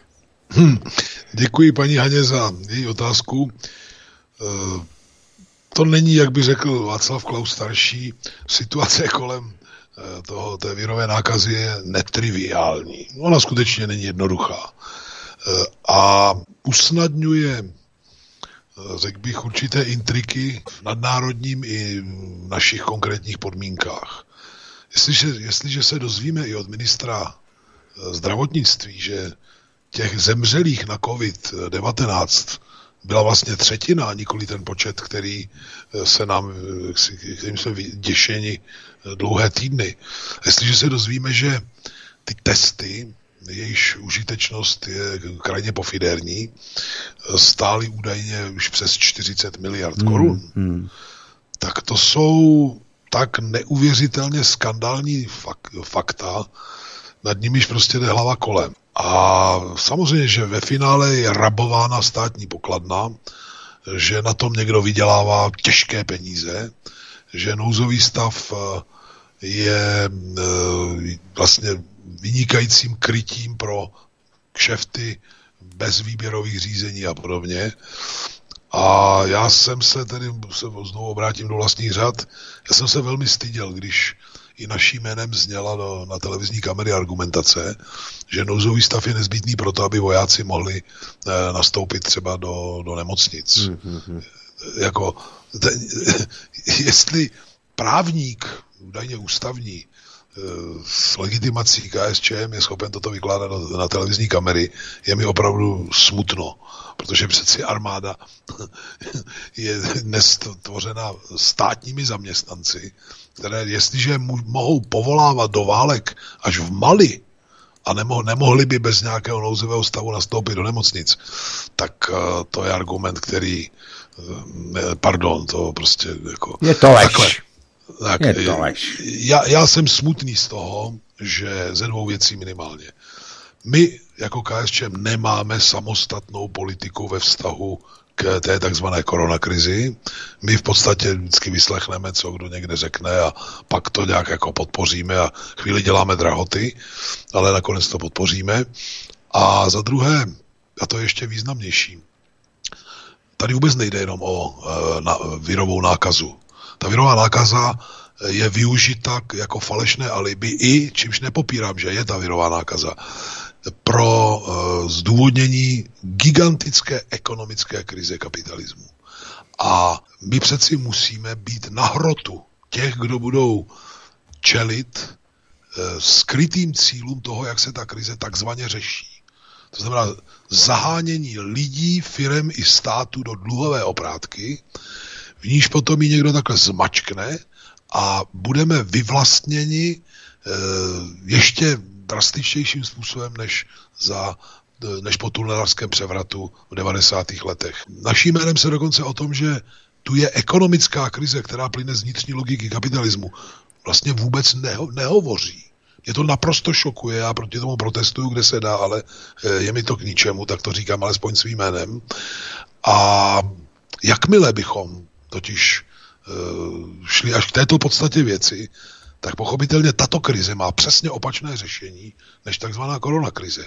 Tato krize máme, nemá, nemá-li naši zemi srazit do koloniálních kolen ještě víc a by vyhnat statisíce lidí do eh, velmi nedůstojných, ponižujících životních podmínek, často do úplné beznaděje během několika málo měsíců, tak přeci jde hlavně o to, aby se nerozfoforovaly veřejné finance, aby se rychle vytvářely zdroje obživy pro lidi, kteří o ní prostě už přišli nebo přijdou a aby se rychle jak si pracovalo na větší ekonomické suverenitě naší země, zejména v takových sférách, jako je soběstačnost potravin, jako je energetika a některých dalších sférách. Čili toto je můj pohled, já se jim netajím, říkám to všechny nemohu. Žel ze strany svých kolegů jaksi viditelných tváří KSČM eh, v poslanecké sněmovně, které zvou na televizní kamery a podobně, tak já ten, tuto tóninu neslyším a myslím si, že si i tím si strana neuvěřitelně ubližuje. A co říkáš na to, že se uvažuje o zpřísnění těch uh, regulačních opatření, jak o tom pořád hovoří uh, vláda, jestli pak se ptá paní Hana, to vyžene lidi do ulic a dál, co říkáš na Eh, petice Blanický manifest a eh, o revoltu eh, Chcípl pes, jestli bude mít nějaký výsledek. Paní Hana se na to ptá každého našeho Ano, hosta. ano, ano. Rozumím, já jsem to trošku opomněl, omlouvám se. No, já se obávám, že jsme záměrně váněni do střetu na poli a o otázku nebo otázky, kdy to podstatu věci mine. Protože jakmile lidé výjdou do ulice a řeknou, dobře, kdyby si vzali jediný cíl, ta zrušte ta, ta omezení, všechny děti do škol, eh, všichni budeme chodit do práce a tak dále, tak uh, vyskočí možná opravdu ta křivka jaksi nákazy a zatížení nemocnic a podobně. A v tu chvíli by ti, kdo stojí za podobným protestem, se ocitli v roli, že by bylo velmi snadné je vydávat za nějaké vrahy a nezodpovědné lidi minimálně. Já si myslím, že to téma není takhle triviální, že je třeba to řešit strukturovaně a jít k té podstatě, té, k té ekonomické podstatě věci. A to se bohužel neděje. Ne, nejsem si jist, že zaprvé, že lidé výjdou masově takhle do ulic a nejsem si jist, že tím něčeho pozitivního dosáhnou. Čímž vůbec neříkám, že nemají pravdu, když e, s, si mohou vykroutit hlavu nad tím, jak chaoticky se tohle všechno řeší, jaké to stojí peníze a jak často nedostatečné výsledky to přináší. Eh, teďka ještě k tomu, eh, k tomu planickému manifestu, já už jsem se k němu vyjadřoval, já jsem k němu velmi skeptický, eh, protože se nejedná o nic jiného, než o zviditelnění se zpěváka, který se tím snaží nahnat si nějaké body, aby, aby mohl prodávat aspoň, aspoň své písničky a své věci, protože když nemůže vystupovat, já tomu nevěřím. Eh, vůbec nevěřím tomu, že by byl že by byl Daniel Landa takový velký vlastanec. Třeba se mýlím, ale já jsem o tom přesvědčen. A navíc, co se týče té organizace Chcípl pes, tak si musíme uvědomit, že se jedná o většinu o hospodské a jedná se o drobné živnostníky. Já s nimi naprosto souhlasím. Oni jsou likvidovaní jak hospodští, tak živnostníci, kadeřnice, všichni, kdo mají nějaké provozovny, eh, kde živí se sami, to znamená, aby nebyli závislí na státu, což ty globalisty štve, a kvůli tomu protestují celkem oprávněně. Jenomže od doby, kdy jsem četl, že organizace Chcípl pes chce chystá se jít do voleb jako organizovaná eh, skupina nebo hnutí, tak jsem vůči ním ztratil veškeré, veškeré sympatie, protože každé takovéto eh, neskutečné a řekl bych bez, a bez nějakých šancí toto, tyto věci jenom ubírají hlasy skutečné opozici, to je SPD, to je jediná strana, která dnes, jsem dneska četl, že jí to vylezlo na 12%, tak ty hlasy se roztříští a v podstatě seberou jediné opozici možnost o tom, aby se za nás sprala s mnohem vyšší vážností. Z tohoto důvodu nesouhlasím s tím, že takováto organizace, kterou vedou hospočtí, by měla jít do voleb. No navíc, Vladimír, já krátce navážu. My si musíme prostě střízlivě a racionálně říci, že některá, některé typy obživy, některá pracovní místa prostě pod, už nikdy nebudou zpátky. Jo, a ne, nemůžeme je do nekonečna dotovat v očekávání, že se všechno vrátí do stavu před Nedostne. krizi. A já, a já neříkám, že ty lidi máme vyhnat do existenčního ponížení a nouze. Ne, já právě říkám, a to chci znovu zdůraznit, stát je tu přeci od toho, aby analyzoval tyto věci včas a vyvozoval z toho závěry a začal budovat alternativní zdroje obživy pro tyto lidi. A to se neděje vůbec. Ne, neděje, ano. Tak a máme tady telefonát. Dobrý večer. Dobrý večer, vážený pane Kapale. Zdravím váženého pana Skálu, doktora. U aparátu je Petr Spodolí. A já bych se měl takový dotaz, který souvisí s tím, že dnešní mladá generace díky přepisovačům dějin žije v představě, že 50. léta eh, byli v kriminálech svatí andělé s pozlacenými křídly, samá nevinátka a zapomíná se zcela na to, že tady probíhal i terorismus, že tady probíhaly diverzní akce, že tady probíhalo spousta lumpáren řízených ze západu. Čili jestli by se o tom také nemělo hovořit eh, zejména z úst představitelů KSČM a takový závěr, než si poslechnu vaši odpověď. Eh, pane doktore Skálo, já jsem hluboce přesvědčen, že jste jediný člověk, který může ještě do těch voleb tu stranu postavit na nohy, včetně voličské základny. Já děkuji moc hezký pořad a budu poslouchat počítači vaše odpovědi. Děkuji a dobrou noc. Dobrou noc. Děkuji svému jmenovci, který je věrný posluchačem a ještě nikdy se snad nestalo, že by se nezeptali, když se to je vysílání já, Vladimíre. Mm. Zase ta otázka je, by vyžadovala mnohem zevrubnější odpověď, ale já to zkusím bleskově. Ano, staly se věci, které se stát neměly v 50. letech, nemá cenu to popírat. Eh, jsme jediný vlivný ideově politický proud, který se k ním staví čelem. V tomto století či tisíciletí liberálové, konzervativci, klerikálové mají e, na rukou oceány krve z různých válek a teroristických kousků a podobně. Oceány sociálního ponížení, existenční nejistoty a podobně. Nikdo z nich se za to neomlouvá, ani náhodou. Mně to nevadí, že se to omlouváme, ale musíme vždycky zaprvé srovnávat srovnatelné. My nejsme zdaleka lídry v tom, jako kdo, kdo komu ublížil nespravedlivě, byť se, ano, i to se stalo naším jménem. A za druhé, dělo se to proti velké, drtivé mocenské přesilovce, zemí, které zdaleka tolik ne, ne, ne, nepostihla válka, jako Sovětský svaz i některé na, na, naše další prostě spojence.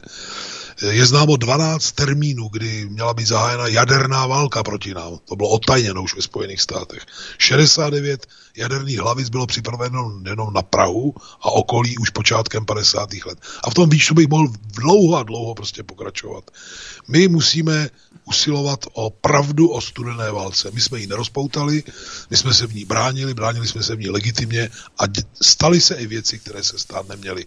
Mnohé z nich se staly na základě podvrhů eh, podvrhů prostě eh, zahraničních spravodajských služeb. A ještě jednu malou poznámku, a to je bohužel lověná koule na našich nohou veliká.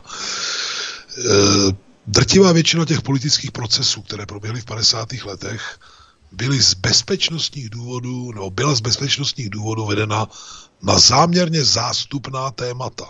Protože to, co těm lidem bylo, jak si, kvůli čemu byli postiženi nebo trestáni, byli pohnáni před soud, se považovalo za natolik bezpeč, velké bezpečnostní riziko a e, jaksi inspiraci potenciální pro jiné e, síly, které by mohly se pokusit prostě e, restaurovat kapitalismus u nás klidně i krvavou cestou, eh, že se to ututlalo a ty procesy se eh, konstruovaly, jak říkám, na, na, na, na, na zástupná témata.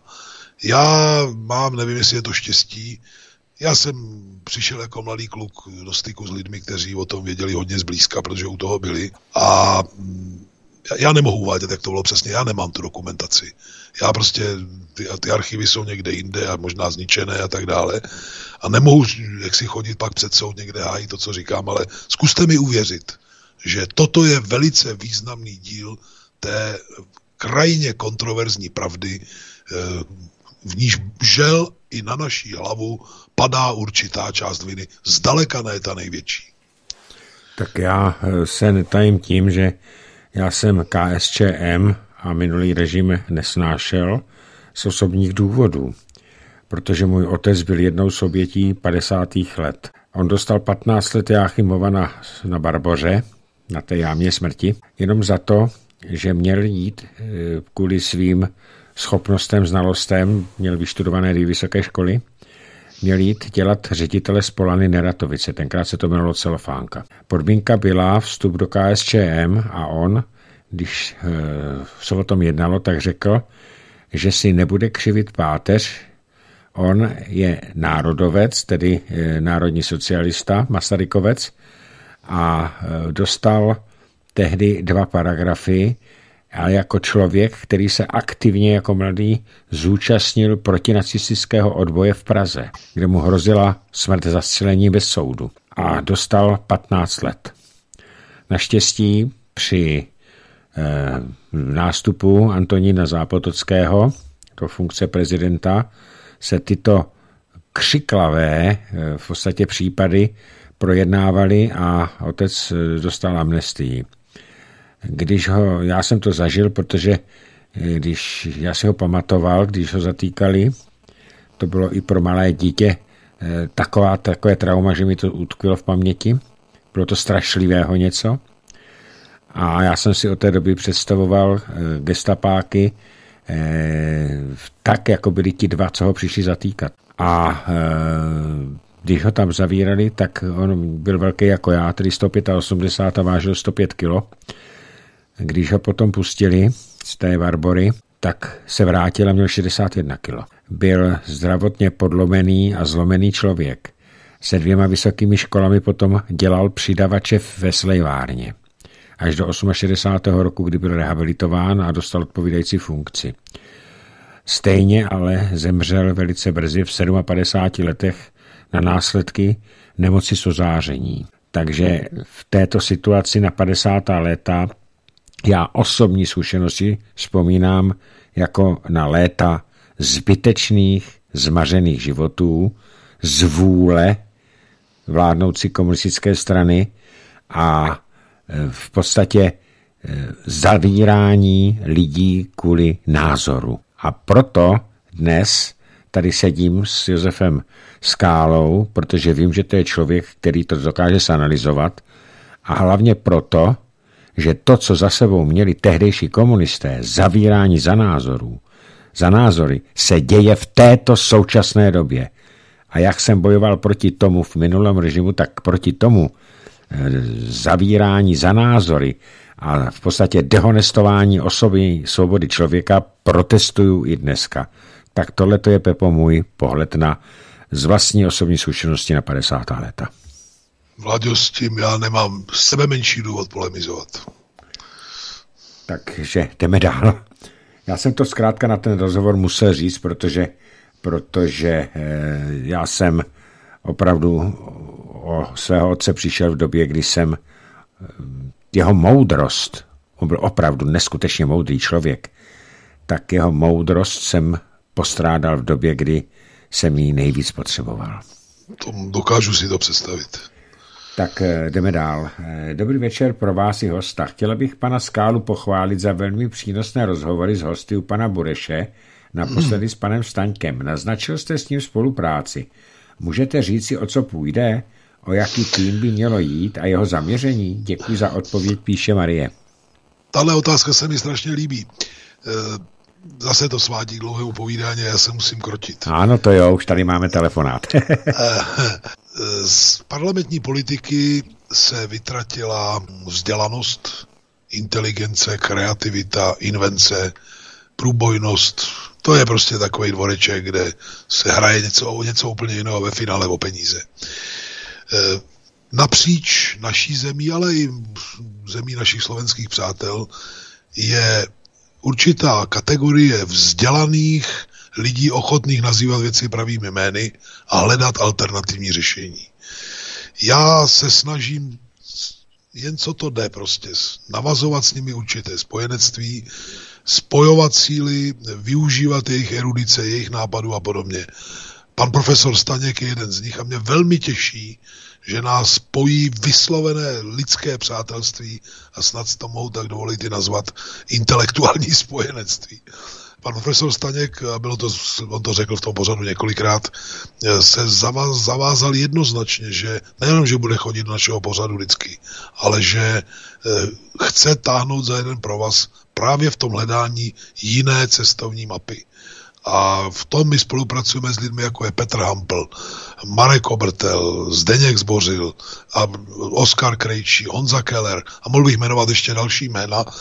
Jsem velmi rád, že se tohle daří, postupujeme kruček za kručkem, někteří nechtějí jít přímo do politiky, já tomu rozumím, ale intelektuální zázemí, které tím získáváme, se bude neobyčejně hodit na rozcestí, na které se republika sune a ten, my prostě chceme, jsme si to slíbili s Peťou Amplem, vypracovat alternativní východisko z krize. Hmm. Takové východisko, které nebude v zájmu oligarchů a cizího kapitálu, ale bude v zájmu demokratické většiny, v zájmu této země a jejich dolních deseti milionů, aby za krizi nezap, nezaplatili ti, kdo jsou v ní nevinně, ale aby to bylo obráceně, když to řeknu hodně ve zkratce. Tak a máme tady další telefonát. Dobrý večer, už můžeme povídat. Dobrý večer, pane Kapale, ale šťastný u telefonu. Já bych chtěl jenom pozdravit pana, pana doktora Skálu a protože eh, na setkání svobodného rádia jsem už ho nezastih, respektive mi utek, tak jsem mu jenom chtěl říct, že chtěl jsem mu jenom říct, že to, co jste říkal před chvílí, tak máme teda jako rodina taky tuhle zkušenost, je škoda, že se staly tyhle ty věci, ale bohužel teda víc, o to víc jsem vyděšený, že se tohle teď vrací ze západu. Ale co jsem chtěl říct panu Skálovi, že když jsem ho slyšel před pár lety u paní Jilkový, jsem se tehdy o to tak nezajímal a e, bral jsem to, co říkal, jako spíš, spíš jenom jako blbost, nicméně musím uznat, musím mu dát zapravdu v tom, že třeba jsem teď se jel podívat e, do Štěchovic na přehradu. Ve v podstatě, co, po čem jezdíme, co je postavený, tak to vlastně vybudovali za minulýho režimu. A slouží to. To co, se, to, co se dneska udělá, tak je maximálně zákaz. A když se něco udělá, třeba jako trať koridorová nebo takhle, do půl roku je to na generální opravu. A jenom jsem tohle co chtěl říct, že tohle co musím uznat a teda opravdu to, co se vybudovalo, jak to slouží doteď a maximálně teď se zužují silnice, zakazuje se a ano. je to škoda.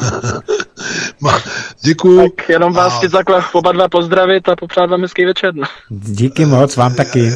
Já děkuji za ten, moc... za ten názor a Naskle. budu se těšit, Vladimíre, na příštím hezky. setkání s posluchači, že si podáme ruku s panem kolegou a popovídáme víc. Já doufám, Pepo, že eh, to šílenství koronavirové, které považuji za uměle vytvořené a koronavirus umělý, umělou biologickou zbraň, tak, která měla mimo jiné e, za funkci a zničit Donalda Trumpa, tak doufám, že do toho května, kdy plánujeme naše setkání, takže to pomine. A za druhé, že tyhle ty šílenství se zavíráním těch hospod ten motorist vydrží. Abychom se měli kde setkat. No, to je pravda, to je pravda. No. Tak, jdeme na další otázku.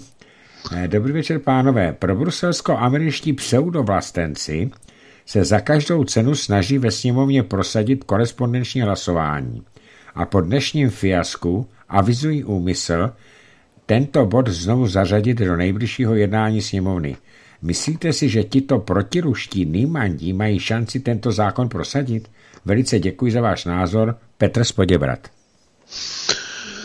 No, zaplať pámu, že se jí to zatím nepodařilo, ale já to jako riziko nevidím zažehnané. Na nás určitě bude vyvíjen další nátlak a to, co se stalo ve Spojených státech, je velice vážným varováním. K čemu vede, když e, ta možnost podvodu, e, manipulace a tak dále je ještě usnadněna e, tím, že může kde kdo hlasovat takzvaně korespondenčně. Takže já bohužel bych si netroufl tvrdit, že se to nikdy, nikdy u nás už nestane. Budeme proti tomu dělat maximum, ale pořád to bude hrozba, které budeme muset čelit. Tak, eh, další dotaz. Zdravím do studia a chci se zeptat pana Skály. Je pravda, jak jsem se dočetl, že čelní představitelé minulého režimu takzvané nomenklatury měli přístup do speciálně vyhrazených prodejen, v nichž bylo k dostání západní zboží, které bylo pro běžné občany v ČSSR zcela nedostupné? Pokud ano, eh, nebylo to eh, jak z farmy zvířat, tedy, že všechna zvířata jsou syrovná, ale některá jsou syrovnější.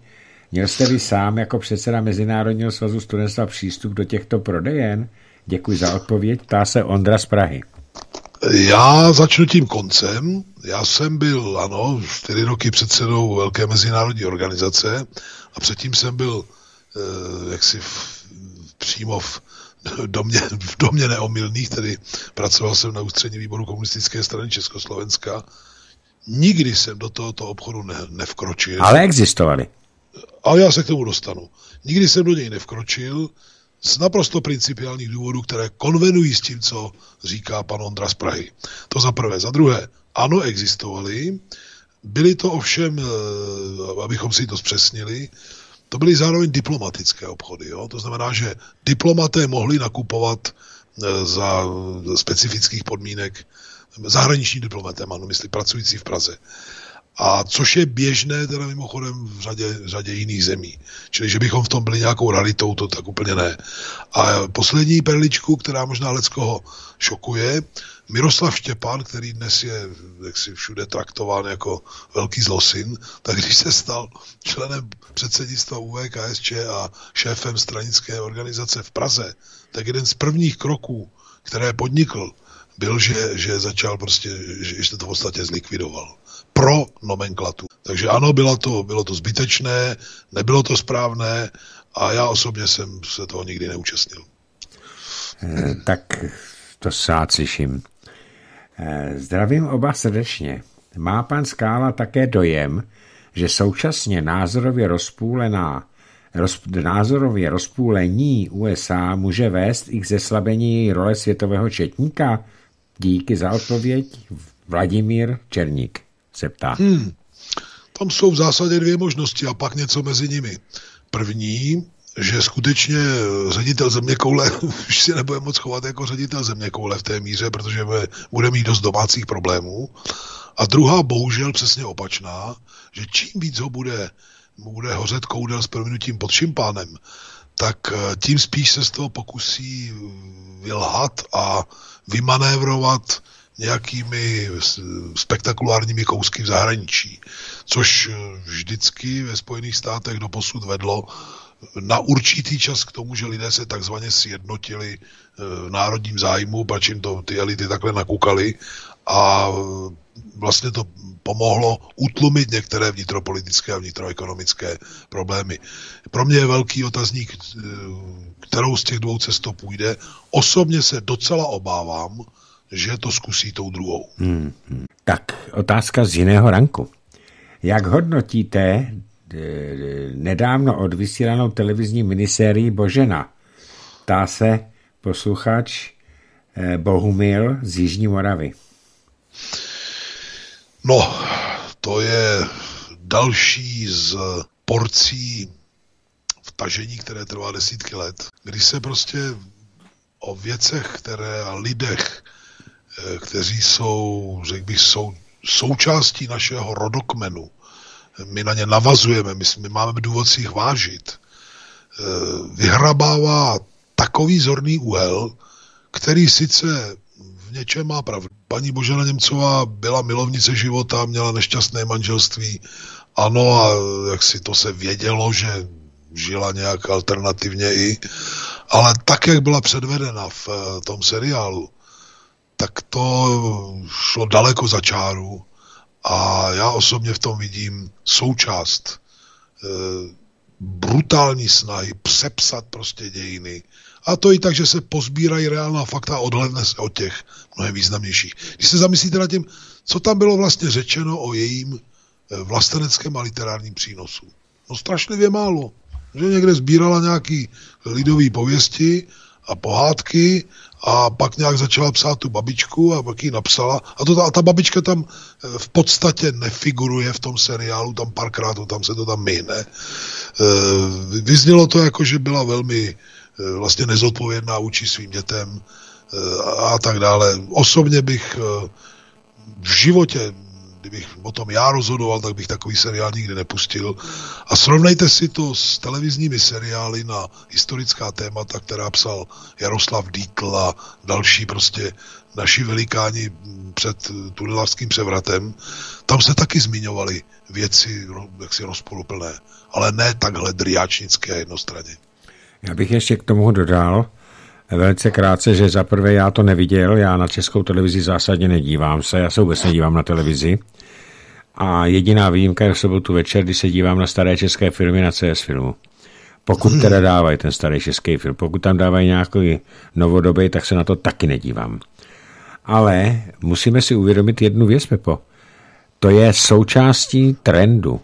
Podívej se, jak se znehodnocuje dílo Aloise Jiráska jak se znehodnocuje obrozenecké hnutí, jak se vyvyšuje, jak se vyvyšuje úr, třeba důležitost Marie Terezie, e, vládkyně, která nenáviděla Čechy a češtinu. Tady to je systematické ničení hrdosti na naši národní dědictví a naši národní kulturu. A samozřejmě, že se dá vždycky, já nevěřím tomu, nebo nevím, jestli skutečně žila tak promiskuetně nebo nežila, je mi to úplně jedno. Ale vím, co dělala pro tento národ. Ona přeci řekla, a to tam taky prej nezaznělo, já to vím jenom z těch diskuzí, že se musí naučit lidé opět krásnou češtinu. Ano, Nic takového tam nebo, se neobjevilo. Je to jenom snaha ničit všechno české, na co český národ má být po právu hrd. Já kdybych byl Vladimír dneska školák a díval bych se na takový seriál, tak by mě sotva nějaký učitel donutil, abych si přečetl cokoliv od Boženy Němcové. Přesně tak.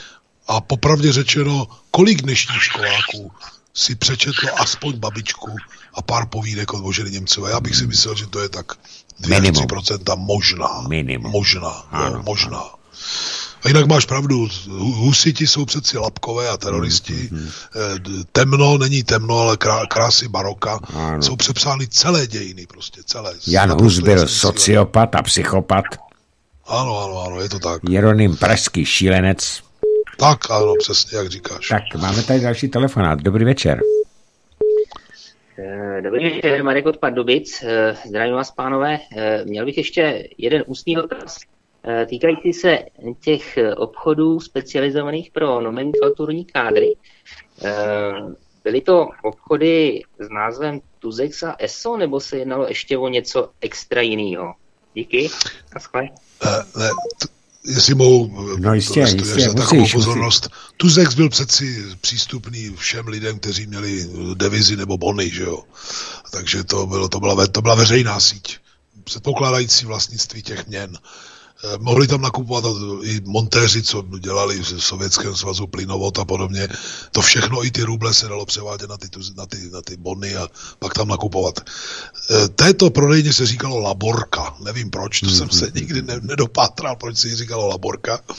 Eh, sídlila v, v ulici, ne Komunardů, na rohu ulice Komunardů v Praze 7 a ulice, která se dnes jmenuje Ježíš Maria, po sociální demo, Tusarova tuším, mám, mám dojem. Hmm. Tam někde ta laborka sídlila. Já jsem v ní v životě nebyl a Tuzek byl něco jiného a ESO byly normální prodejny, z, kde to zboží bylo trošku dražší a byly tam v podstatě věci také hodně z dovozu, ale kromě toho, když už se na to tazatel ptá, eh, my jsme rádi nakupovali to, čemu se říkalo exportní souběh.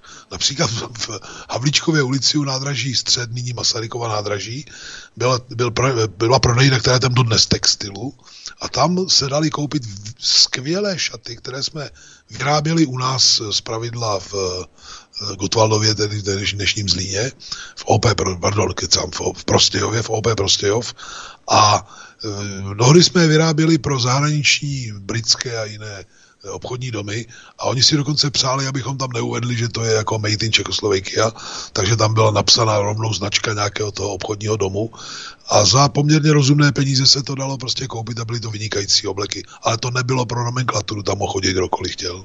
Tak poslední otázku vemu SMS-kou, protože teď jsme měli telefonát a je to poslední otázka dnešního pořadu.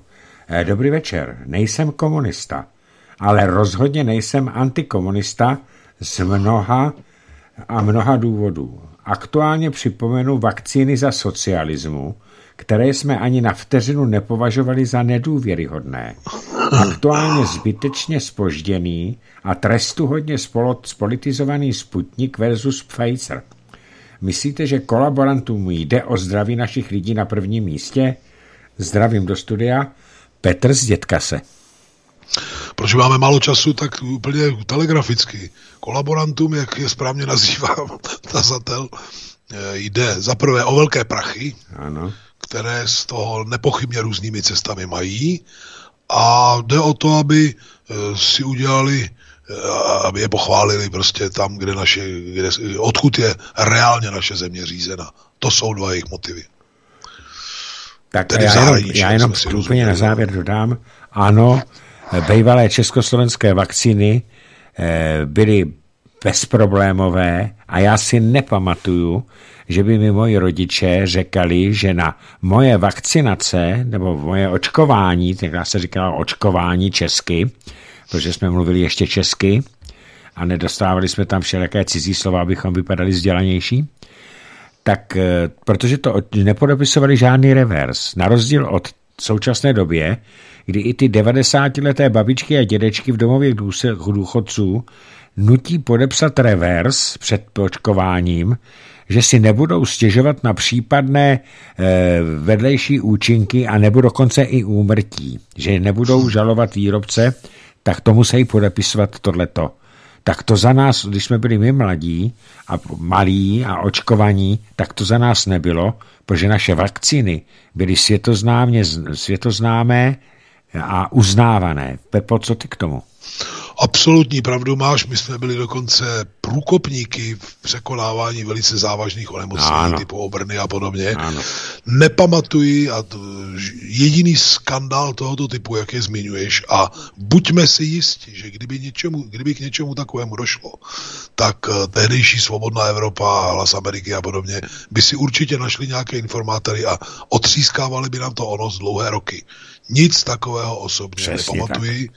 Takže to je konec konců vrcholný důkaz toho, že jsme měli velmi dobrou, velmi dobrý farmaceutický průmysl, který toto zvládal špičkově a jak správně říkáš, Eh, tady vůbec nepřipadalo v úvahu, že by se vyvinovali lékaři a farmaceutové, eh, farmaceutické, eh, farmaceutické, farmaceutický sektor z toho, že když se někomu něco stane špatného, takže oni jako za to nemůžou. Stát za to nesl záruky ano. se vším všudy a, a postaral se o ty lidi a tak dále. Tak, je to naprosto, naprosto tak. Já se snažím být za každé maximálně, když pan profesor nám říkal, Eh, Machovec, že eh, subjektivně, objektivní člověk být nemůže. Vždycky je to subjektivní objektivita. Ale eh, snažím se být opravdu co nejvíc nestraný. Takže jestliže jsem před chvilkou vyjádřil nesouhlas s 50. lety s osobní zkušeností, tak zase na druhou stranu musím pochválit český farmaceutický nebo československý farmaceutický průmysl za minulého režimu, protože byl opravdu špičkou ve světě a nebyl jediný, nebyl žádný problém z toho. S tím. Takže asi tak. Eh, Pepo, díky, že jsi si na nás udělal čas. Je to s tebou vždycky taky pěkný popovídání, eh, velice milý popovídání a příště si uděláme toho Chruščova a můžeme to vzít i s tím Leninem dohromady. No, to jsou sice zcela protikladné postavy. Tak ale ono, já si myslím, že... Tak že... morálně, ale můžeme, nemám s tím problém. Já vím, Dobře. ale ono to asi, asi jsou to tak obsáhlé témata, že to uděláme na, na zvláštní pořady. Možná zvláštní, výborně. Mm. Už jsme měli Marxe, měli jsme Stalina, tak Přesně tak. každýho zvlášť těch. Děkuji moc za pozvání, Vladimíre, i pro mě je to vždycky osvěžující. Lidé kladou pěkné otázky k věci se zájmem, nikdo do toho nevnáší nějaký dehet a jed mm. a to je velmi příjemné se takových debat účastnit. Děkuji moc tobě i všem posluchačům. Já to děkuji tobě za účast a přeju ti, ať se ti všechno daří a dobrou noc. Dobrou noc. Eh, vážení přátelé, my si teď pustíme písničku a já předám vysílání dalšímu studiu Svobodného rádia a ze studia Beta se s vámi taky loučím a přeji dobrou noc.